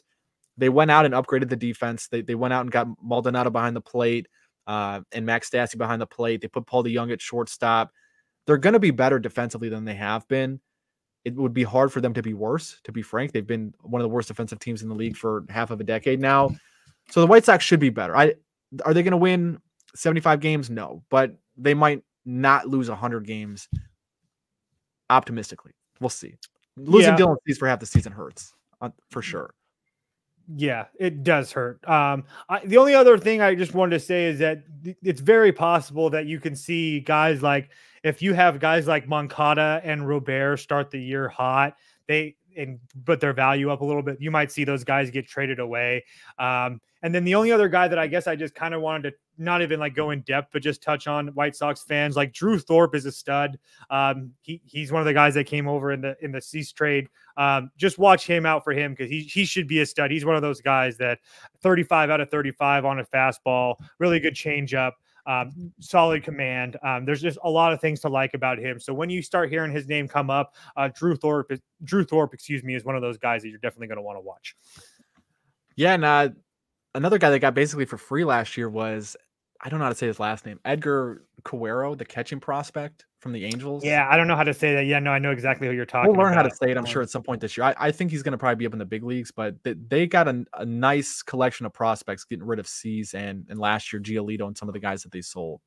Yeah, he's number. Uh, uh, I saw. I keep calling. I call him Edgar Quavo because it's just easier in my head to remember it that way. But Edgar is uh, their fourth best prospect in their um in their in their system. So yeah, yeah I like him a lot he played in double A last year. He should be coming up here sooner than later. Yep, 100% agree. Well, last but not least, your your favorite division to talk about because you have your favorite American League team. Uh, maybe not your favorite, yeah. but the Bad Boys, who you have winning this right. division once again in 2024. To tell us why, Toast. Well, as I think Alex Bregman said it the best. Everybody wondered what what it would be like if Houston didn't win the uh, win the division, but I guess we're just gonna have to wait, keep on waiting because this team just doesn't fucking win the division. Like, I'm sorry, but at no point are you going to convince me. And I love Seattle, and we can we're going to talk about them in a second, but I just here I just don't understand. Besides the starting pitching that you can start poking holes through, that's really the only thing that you can poke holes through with this Houston Astros team. Valdez, Javier, Brown, Blanco, France, your starting five. Um, Javier, one of those guys that in October um, has been fantastic over the course of 162, hasn't been as dominant. Framber Valdez is another one of those guys as well. Um, but both of those guys are going to be coming up for contract contract soon. They're both four years of service time. Um, I, I, truly think that we're going to get pr- uh, pretty good performances out of those guys. Not to mention guys like Justin Verlander, who I understand that he's hurt and whatnot, but he should be ready to go. Um, I guess I'll put it this way: it's easier to figure out this way. I like them as a playoff team more than I like them over the course of 162. I feel like there's going to be two week, three weeks periods where maybe the Astros aren't playing good at times over the course of 162. But when we get into October, it's not going to matter. And why do I feel that way? Three reasons Hader, Pressly, Abreu. And if you wanted to throw Montero in there, you can. Those three at the back end of that are of that bullpen is absolutely nasty. Uh, Josh Hader, I don't really love him as a player. Um, I just don't like what he gives to the team as far as I'm a Padre. And it's not because we, he didn't sign with us, just because we were in a little bit of a playoff race last year, and he didn't want to pitch when we asked him to pitch, and that just doesn't vibe well with me. Um, obviously, Houston has guaranteed him the ninth inning, so he doesn't have to pitch when there's an eight on the scoreboard. So, luckily for Josh Hader, he's going to be in that. Money.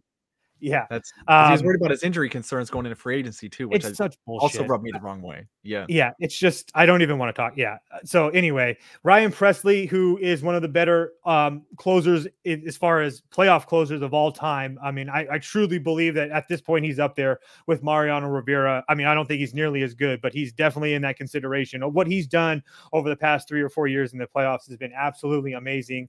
Bryan Abreu is one of, if you don't know who Bryan Abreu is, I would take some time to figure out who he is. He's one of the best relievers that you probably don't know of in this league.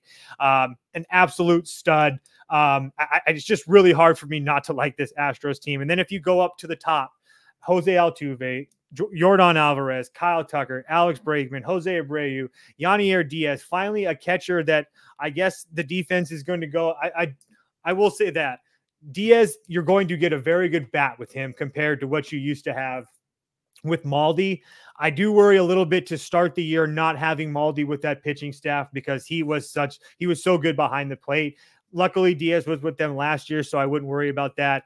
Chas McCormick, Jeremy Pena, Jake Meyers to, to, round it out. But then you also have guys like Mauricio Dubon and Corey Julks on the bench. Um, they're just so very deep. Um, Chas McCormick is another one of those guys. I think that he could have a breakout year, going to be playing every day now. Uh, Jeremy Pena, we've seen him have flashes of very good, especially in the playoffs.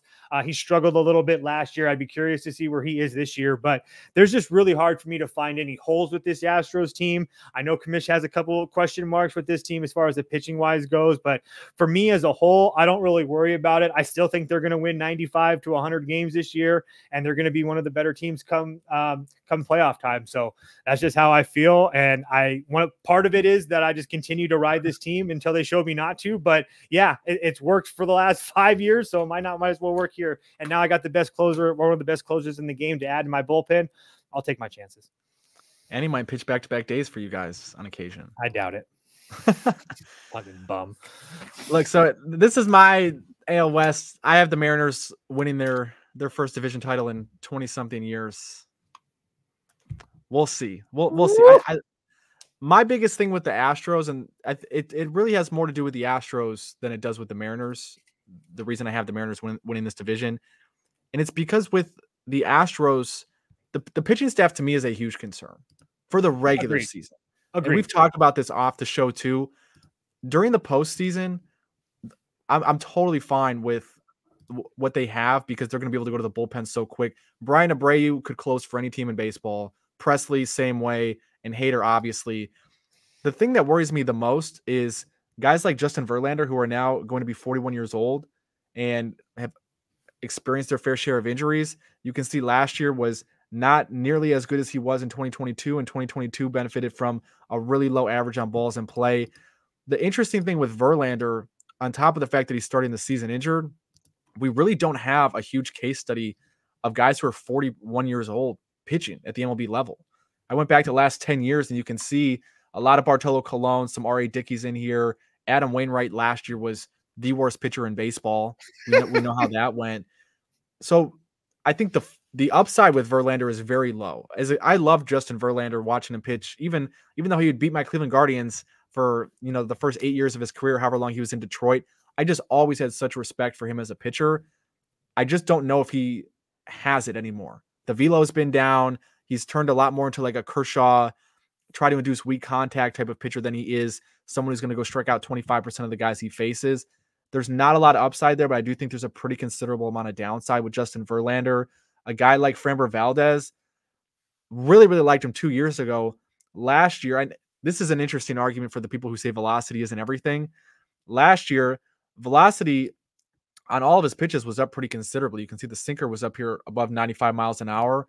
The problem is when you throw a pitch like a sinker with more velo, it's not going to dance as much. He lost about four inches of vertical drop on average on that pitch. So his ground ball weight rate went down. He really was just not as effective overall. So I think if he's not an ace ace, if he's more of a co-ace or like a like a tier two type pitcher, for from a regular season perspective, that makes things tougher on the Astros. And then you look at the rest of this rotation. I'm, I'm not a big Cristian Javier guy. He's a strikeout, walk, fly ball type of guy, which is just not my cup of tea. There, you don't see a lot of consistent success with those types of pitchers. And then at the end of the rotation, I like Hunter Brown, but JP France is one of those sub 20 K percentage guys. Mm-hmm. You're just you're not going to have a lot of su- sustained success as an MLB pitcher if you can't get strikeouts. He's going to probably have more innings than I think most Astros fans would be comfortable with. Was a little bit more lucky than good in my opinion last year. But again, the bullpen's elite. So they're, they're not at risk in my mind of completely falling on their face.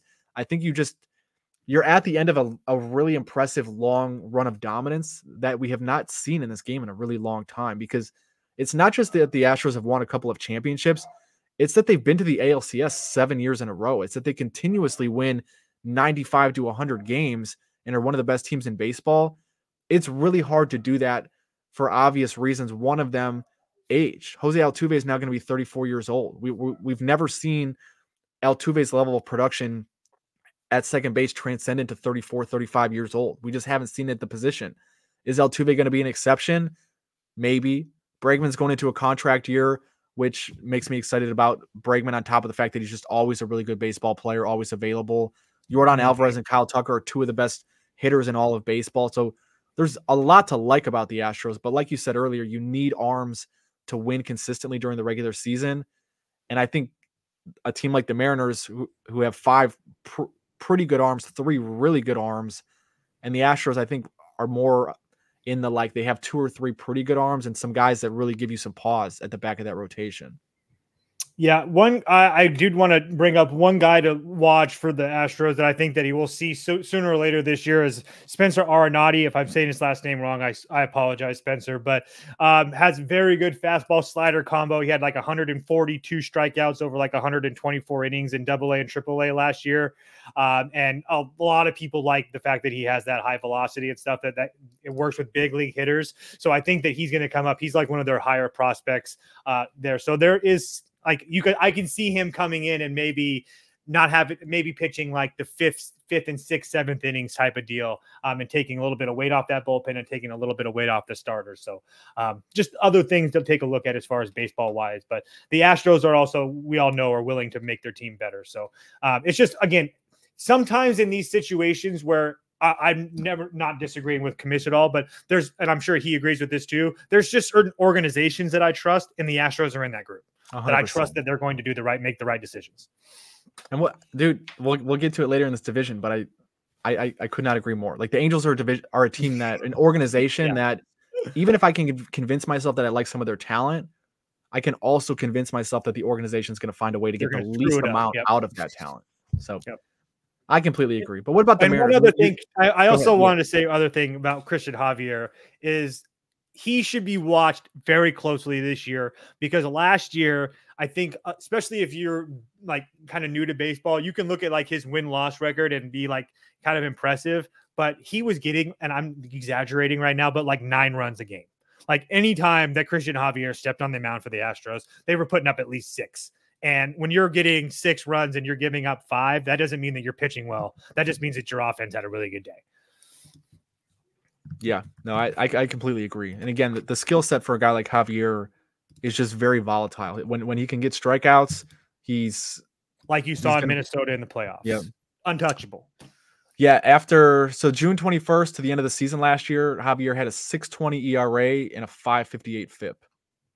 So you were not exaggerating. He allowed 56 earned runs in 81 innings and I'm curious to see what his win loss record was. Let me see. He was three and four during that stretch, which is okay. pretty damn good for a guy who was. So he was ten and yeah, and he was ten and five total on the year, yep. which is just crazy.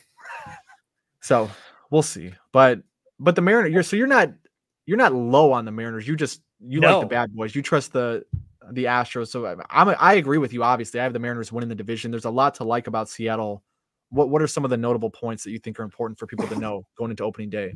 So for me, like, and I told him this, I told Commish this before the show. Like, I like to be that guy that stirs things up. So I would love to come, be the guy that came on here and was like, "Yo, Seattle's going to dethrone the Astros," yada yada yada. I'm just not there yet as far as dethroning them because I have to see it again. One of those things I have to see with my eyes first. But everything that you could possibly ask for is there. I think that Seattle has the best pitching staff in the Major League Baseball, and I don't even. There's not even a question about it to me. Um, I won't listen to any other arguments. I do not care. Uh, Castillo, Kirby, Gilbert, Miller, Woo, uh, the best starting starting five that you you're going to get as far as pitching or pitching rotation you're going to get. Um, I you can poke some holes in Castillo and stuff like that, but I truly think that Gilbert, Kirby, Miller, and Woo um, haven't even reached their potential yet and is only going to continue to get better. Behind them, behind Munoz and Stanek coming over from the Astros, uh, Saucedo, Thornton. I mean, that bullpen is absolutely nasty. Uh, JP Crawford is, God dang it, dude. JP Crawford is one of those guys that's been fantastic for them. That's, yeah. I think that's like one of the more underrated guys. I'm so sorry. No, you're good. You're gonna you're gonna meet my dog um, at some point, Toast. We're, we're gonna have it's gonna be the same thing of course he like wakes up like right now. But anyway, uh JP good. Crawford is one of the guys that like Ha-Seong Kim, I think could be the Ha-Seong Kim of this year that like everybody falls in love with. They finally understand who he is. Julio Rodriguez had like a sophomore slump last year. Um, and then finally that. Um, and then um Jorge Polanco. Here, hold on. I gotta hold on. I'm no, you're good. You're good. I'll jump in. Yeah, no, we are we are family friendly on this show. Again, you'll meet my dog at some point. I'm sure there'll be some distractions. Uh, new age of doing content and media, but for me, the Mariners, I you know, Toe started to touch on uh, some of it a little bit. The the biggest thing with them is that they haven't won a division in 20 years. You know, we talk about trusting an organization or not trusting an organization. The Mariners are one of those organizations that you probably lean towards not trusting because they just always find a way to come up short in, in one respect or another. But there are just so many good things to say about the pitching staff. And if there is any room to to shift out of that, like I don't, I no longer trust the Seattle Mariners. They're starting to do some pretty good things uh, with the staff. They throw a lot of strikes. I mean, it's one of those things where, like the Rays last year, were the last couple of years have been one of those teams where they're getting the most out of the least with the pitching staff. The Mariners, I think, are getting to that point as well. Even if you poke holes in Castillo, uh, you know, for not having a, a, super great ground ball rate anymore. If you have uh, some issues with the fact that Logan Gilbert gives up a ton of hard contact or Kirby doesn't strike out 27% of the batters he faces, they throw a lot of strikes and they play pretty good defense behind them. That and they play in a really pitcher friendly ballpark. Like that gives you a pretty high floor day in and day out, especially when they're at home. Uh, Kirby last year, it just absolutely phenomenal in terms of control. Nobody walked less batters than him th- over the course of a regular season. And when you talk about skill sets that play, skill sets that have a high floor, 22% K rate was even better towards the second half of last season. And when you don't walk guys and you get a league average number of strikeouts, you can see this list here.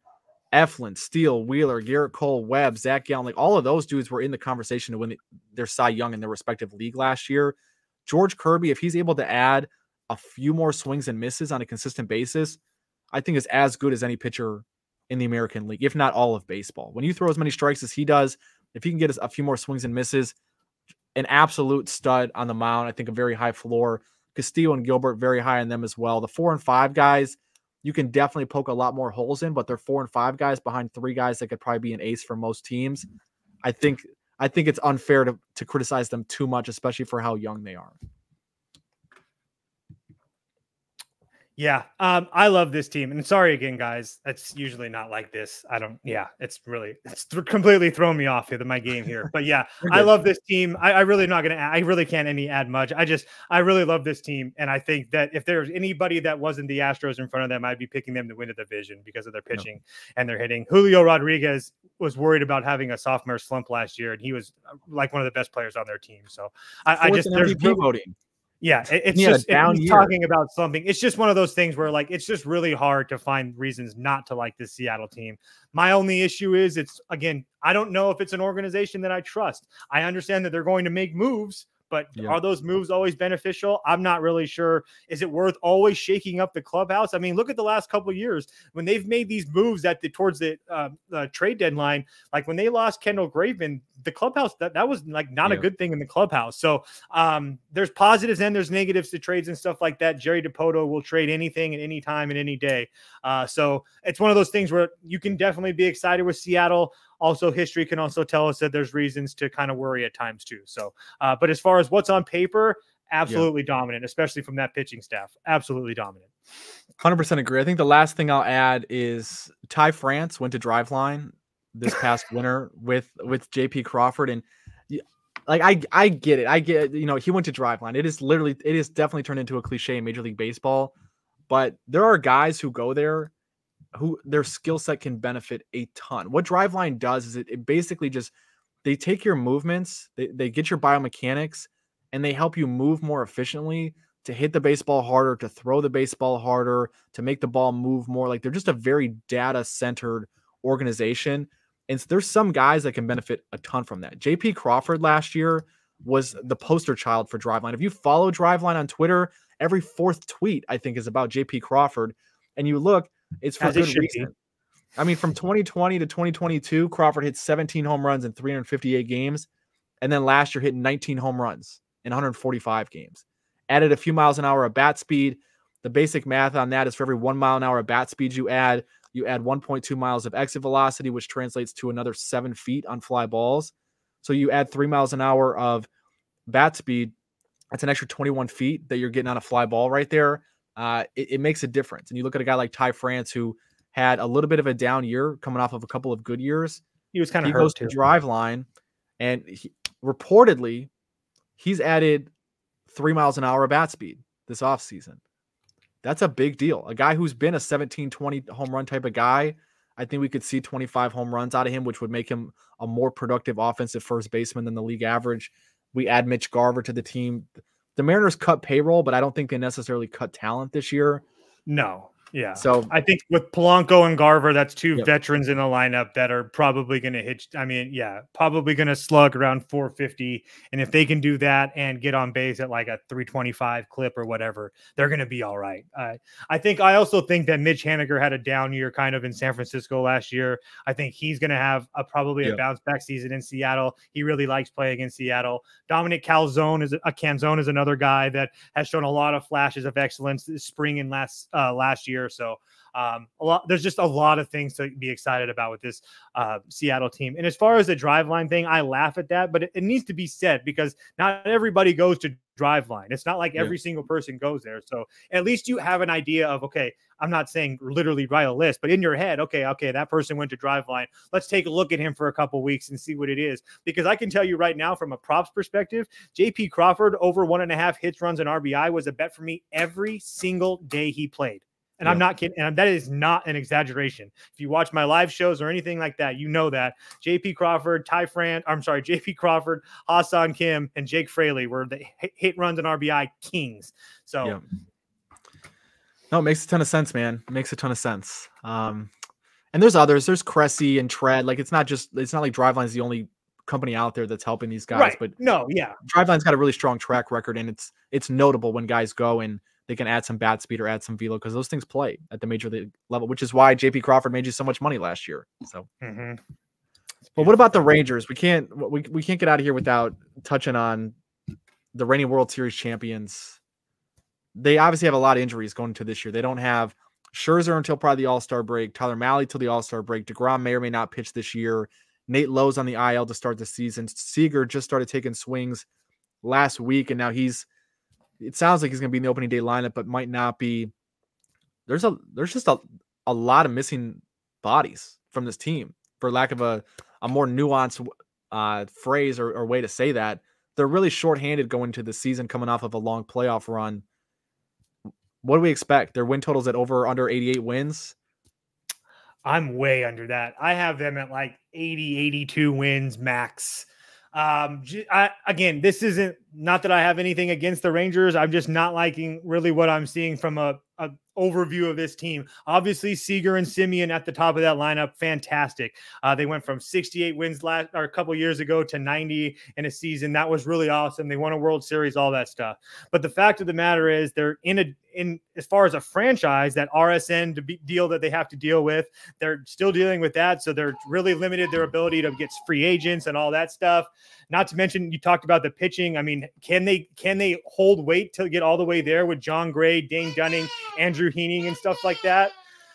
Like it's just really those things that's really hard. And then you, you're going to be asking a whole bunch of young guys to do a whole bunch of work, like the, the guys like Wyatt Langford and Josh Jung and Jonah Heim um, and Evan Carter. I mean, it, it- do I think that they're all going to be good baseball players? Yes, but at the same time, they're so very young that I can see them going in different types of slumps. Do I think that a guy like Jared Walsh hitting eighth in that lineup would be really good for them, who's a former All Star? Yeah. But at the same time, too, then if you go look at like let's just say the bullpen, for instance, Leclerc, David Robertson, Sborz, Yates, like none of those guys, like I don't even think that they pitched that well last year. I think they got they pitched decent in the postseason. I think their bats just what carried them. Like it's just really hard for me to go up and down this lineup and be like, or up and down this roster and be like, man, yeah, there's a lot of things to like here. I mean, do they have some big names? Yeah, but at the same time, if you take away that, that they're World Series champions, and if you just take a look at this roster as a whole, it just really doesn't do much for me. This might be our other di- disagreement beyond Toronto. Like, if there's two teams where I think we have the most separation between our expectations going into this year, I think it's probably Toronto and Texas. I actually like Texas to probably win 90-ish games. Part of it has to do with the fact that last year they they had the third worst record in one-run games of any team in baseball, which again is more of a luck metric than anything else.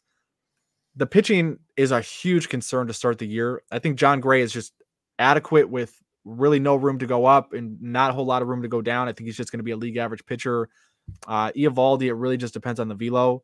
when the velo's up, he's an ace. When the velo's down, I mean, he's he's an automatic fade from a betting perspective, and you, you really don't love to see him as a fan out on the mound for your team when when the velo is down. The back end of that rotation is problematic with with Dunning and, and, and Bradford to, to to begin the year. But if they if they can tread water with the offense until the All Star break, I, I do think they're going to have some. They they have a lot of expected regression in terms of their win percentage and one run games from last season. That's definitely a bonus. And then you still got bats. You still got Adolis Garcia. You still have Seager's going to get healthy, and we've seen him play in, through injuries successfully before. I'm not super big on guys like like Josh Jung, but I, I love love Garcia. I think Leody Taveras took a huge step forward last season with the bat. The team has the best defense in in baseball as well. Was last year, probably will be again.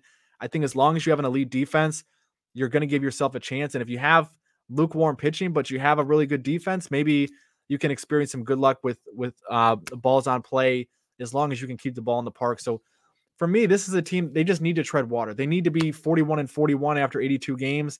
If they can do that, I think they have a chance to win 89 or 90. But they they really need to just figure out how are they going to survive until they, they get some of this pitching back.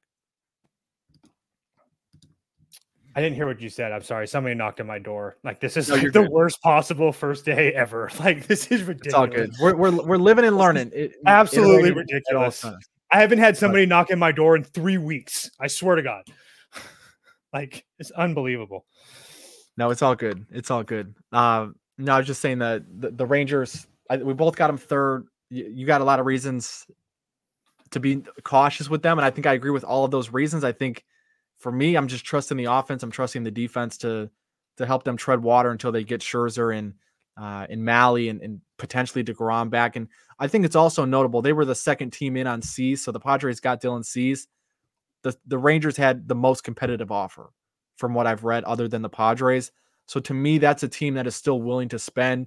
That's a team that if the pitching is a major red flag early in the season, I would not be surprised if they went out and tried to upgrade in some shape or form. If the, I think if the, like if the Guardians got off to a really bad start, Bieber being in a contract year, I think Texas would probably be at the top of the list for Shane Bieber's services.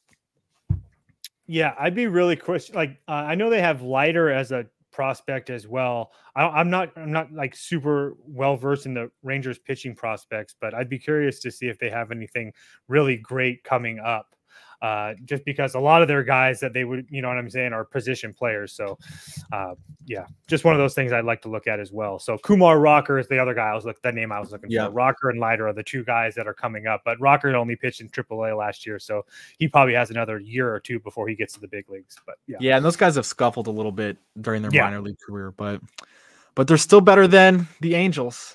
we both have fourth in this division. Yes. What do you want to highlight from this? What what what do, what do people need to know about the Angels aside from we, I mean we know, we know Ohtani's gone. We know this team is perpetually underperformed even with some of the best players in the league the last couple of years.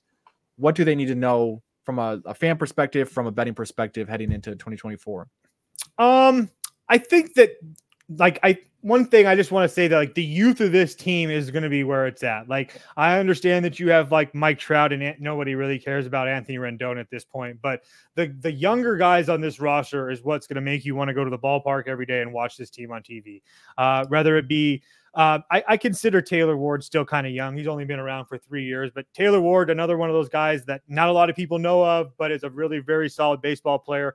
Nolan Schammel, I, am sure I butchered that last name, um, but he's going to be playing first for them, and he he was just drafted by this team um, uh, in 2023. So the fact that he's going to be he's their like their number one prospect, so he's going to be playing first base on an everyday basis. So you have him at first, Logan O'Hoppe as a catcher, um, and then Zach Neto at shortstop. I mean mean, both of all these guys are very, very young in the 22, 23 draft class. So that's again probably not the best as far as winning baseball games on a daily basis over the course of 162. But looking as a whole at this team, you can see where they're definitely things to build. Um, as far as the pitching staff goes, not really fantastic. I would say that Griffin Canning and Reid Detmers are decent. I mean, they're both first and second round talents. I actually think Detmers is a little bit better, but Griffin Canning has performed a little bit better. Both of those guys are still over a four ERA or whatever. But I think Reid Detmers, if he has like a decent year, uh, can give you like 175 to 180 innings and maybe 200 strikeouts. I, I truly believe that. Um, and then Tyler Anderson, a decent lefty arm to round it out. But the bullpen is where it's just bad. I mean, Estevez, Moore, Soriano, Garcia, Cimber, um, they're terrible. It's one of the worst bullpens. hurt to start yeah. the year. Yeah, like, like the big yeah. reliever addition, not even healthy to start the season. I was just about to say the yeah, the one guy that they were, were supposed to even make it that was uh, you can trust because he came from the Rays is now hurt. Um, or at least started from the Rays. But yeah, anyway, it's just really hard to get behind this team as far as on a day to day basis over 162. I would love for guys like Jo Adell to finally show up, who's been a AAA All Star at every point in, in his career, but anytime he comes up to the major leagues, just doesn't really show out. Like I would love for that. So if you start to see guys like Jo Adell come up and play well, maybe that's a good sign for the future. But as far as this year, it's just really hard to like anything with this Angels team.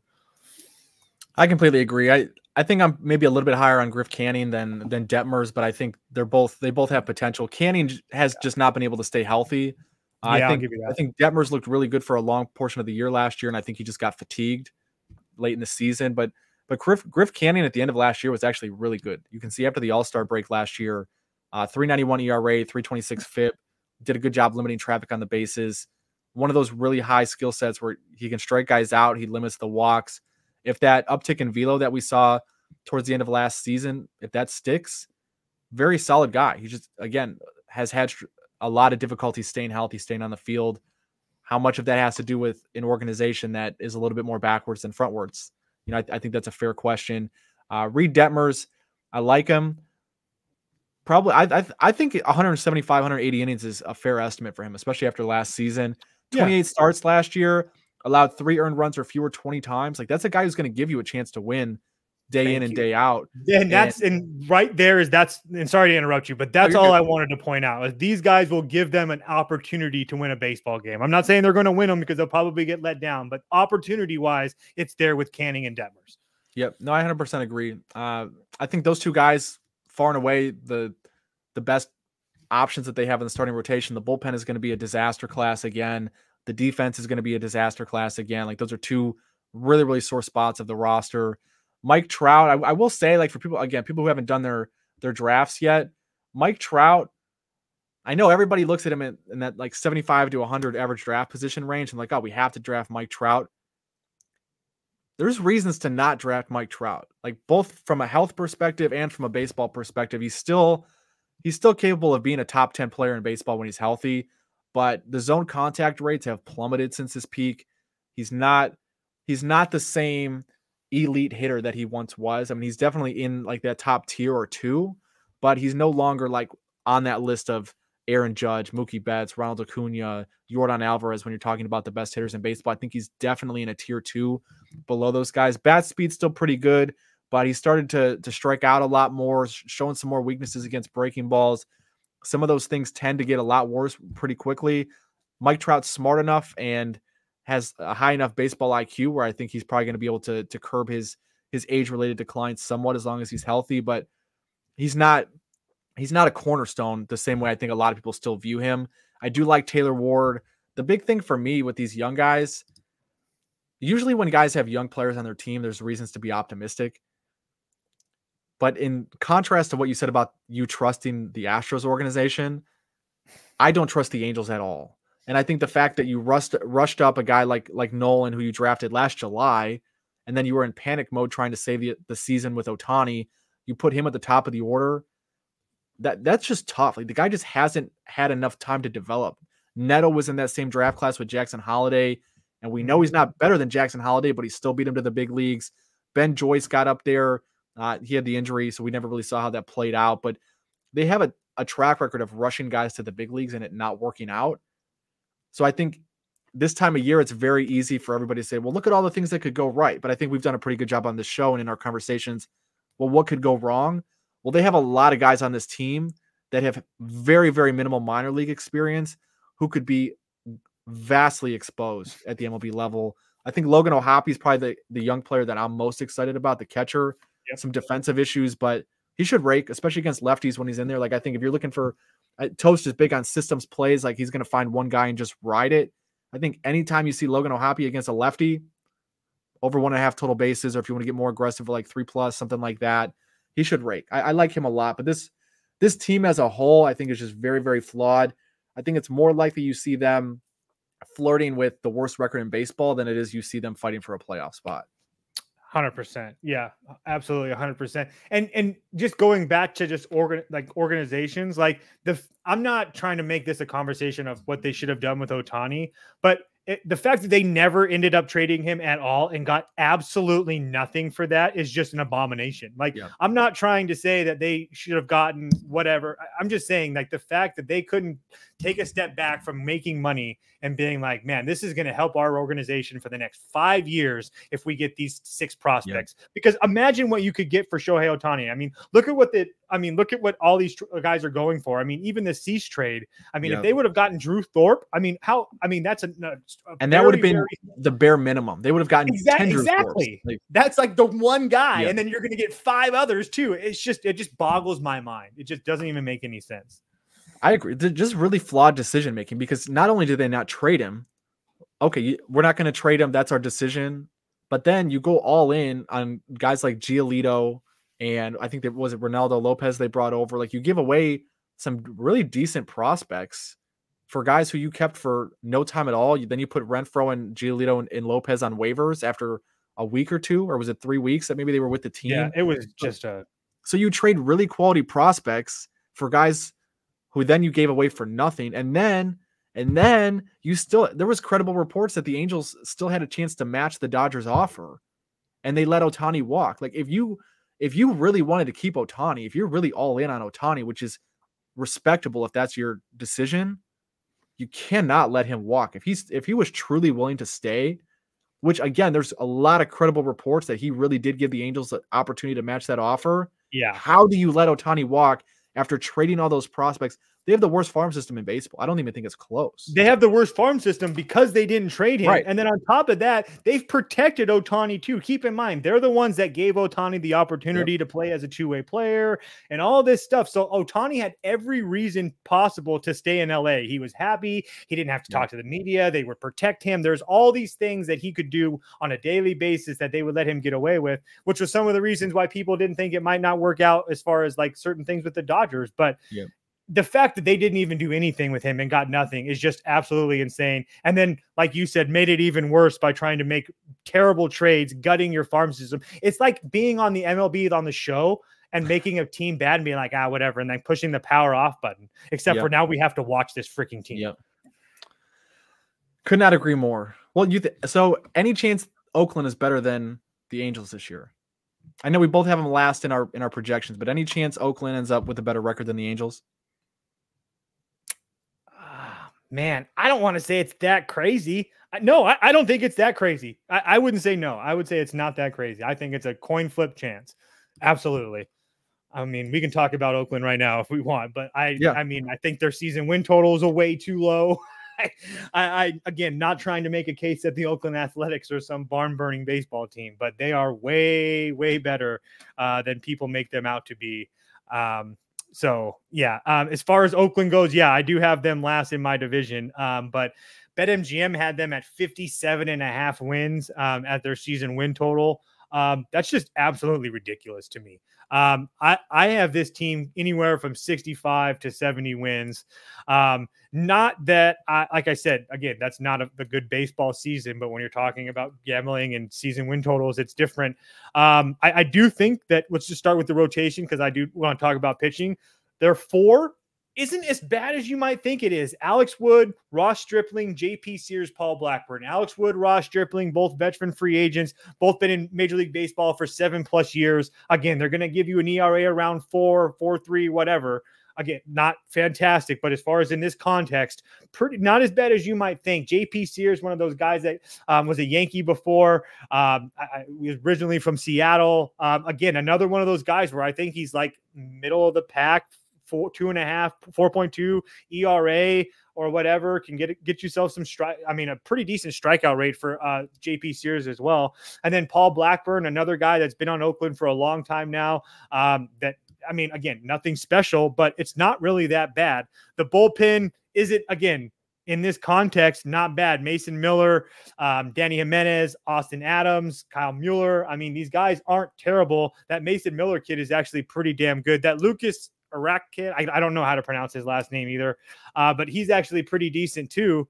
Um, and then if you take a look at the lineup, is with the Oakland lineup. I mean, Ryan Noda, he's a rule a Dodger Rule Five guy that I mean, truly, I think they could hit 20 to 25 home runs. The average isn't going to be there, but he can slug.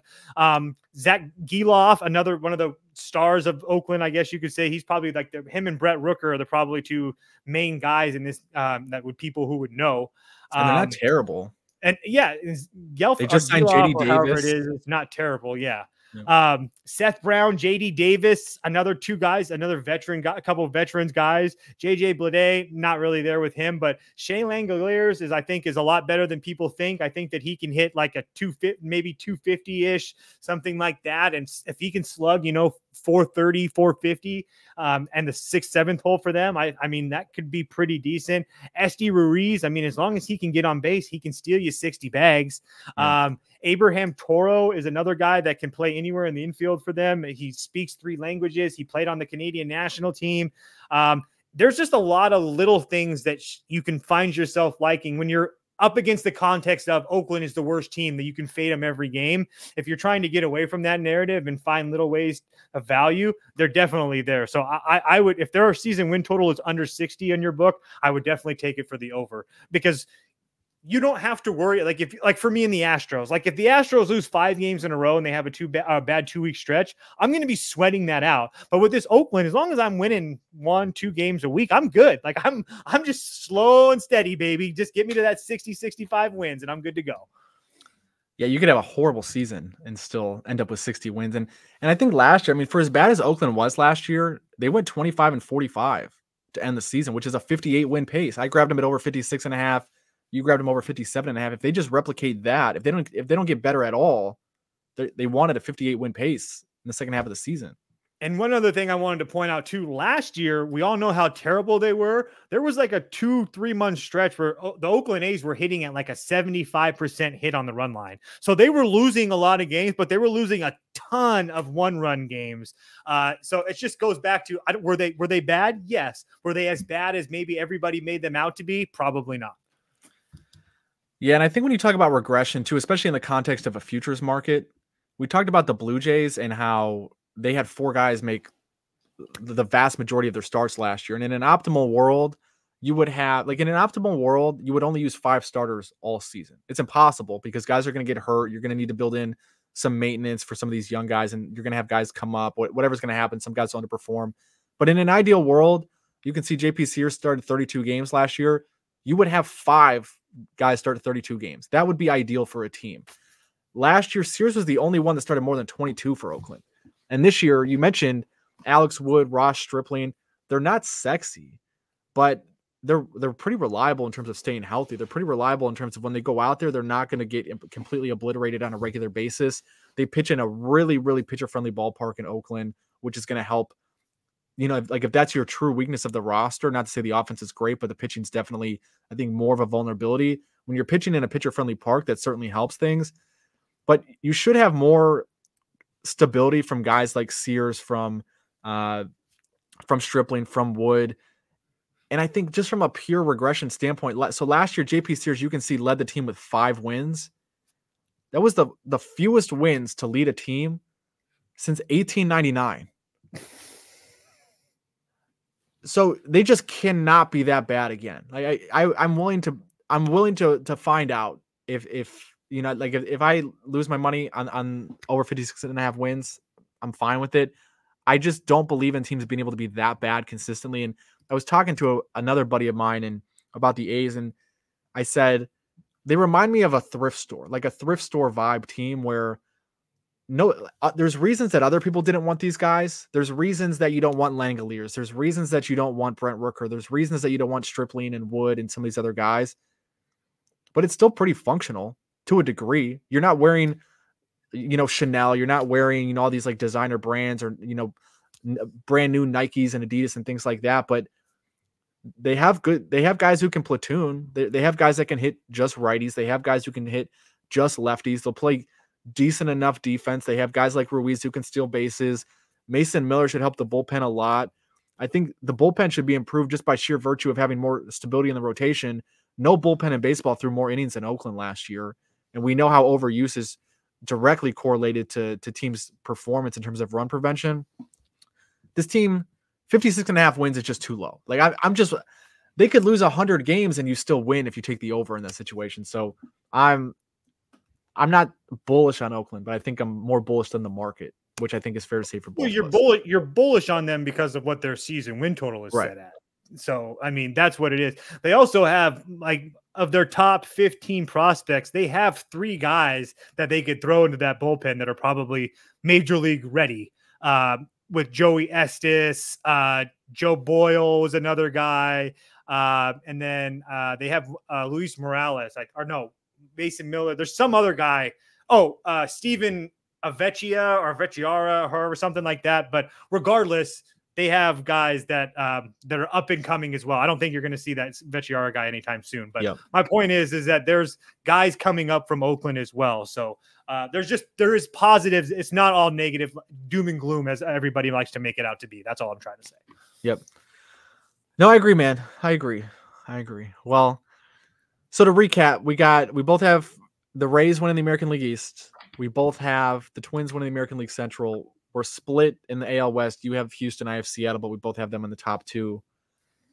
Before we get out of here, from a betting perspective, a- anything that sticks out to you in terms of the futures market, like if you had to give people one one bet that that they want to take away, they want to have something to follow throughout the year, what would that be? Um, I don't have his actual number right here, but I think Kyle Tucker over his RBIs, um, over uh, essentially Kyle Tucker, I want to talk about, but his RBIs as well. Um, you can rather to lead the league in RBIs is 2,500. Um, but I just think that this is like a going off year uh, for Kyle Tucker. Um, he's first and foremost when I look about these season long is do these guys play games? Um, and then over the last couple years, he's played uh, 50 or uh, in 2020 he played 58 out of the 60 and then he's played 140 plus games the last from 2021 on um, and two of those seasons with 150 games so um, he's going to have multiple guys in front of him in that lineup that are going to be able to get on base um, which i think is going to be absolutely huge for him on top of the fact um, well, I'll just say the guys Altuve, Alvarez, Bregman, all those guys are in front of him. Uh, he he hit 284 last year, but he was actually expecting a batting average was closer to almost 300. Um, he's he strikes out less than 13 percent of the time, or just over 13 percent of the time. I expect that to go down. I mean, he's hit 29 home runs in his last three seasons. Um, he I mean, he just absolutely smokes the ball. Um, he's in a perfect spot in the lineup with all these guys who have heavy OBPs in front of him. Um, I, I, just he, he knows how to hit in Houston.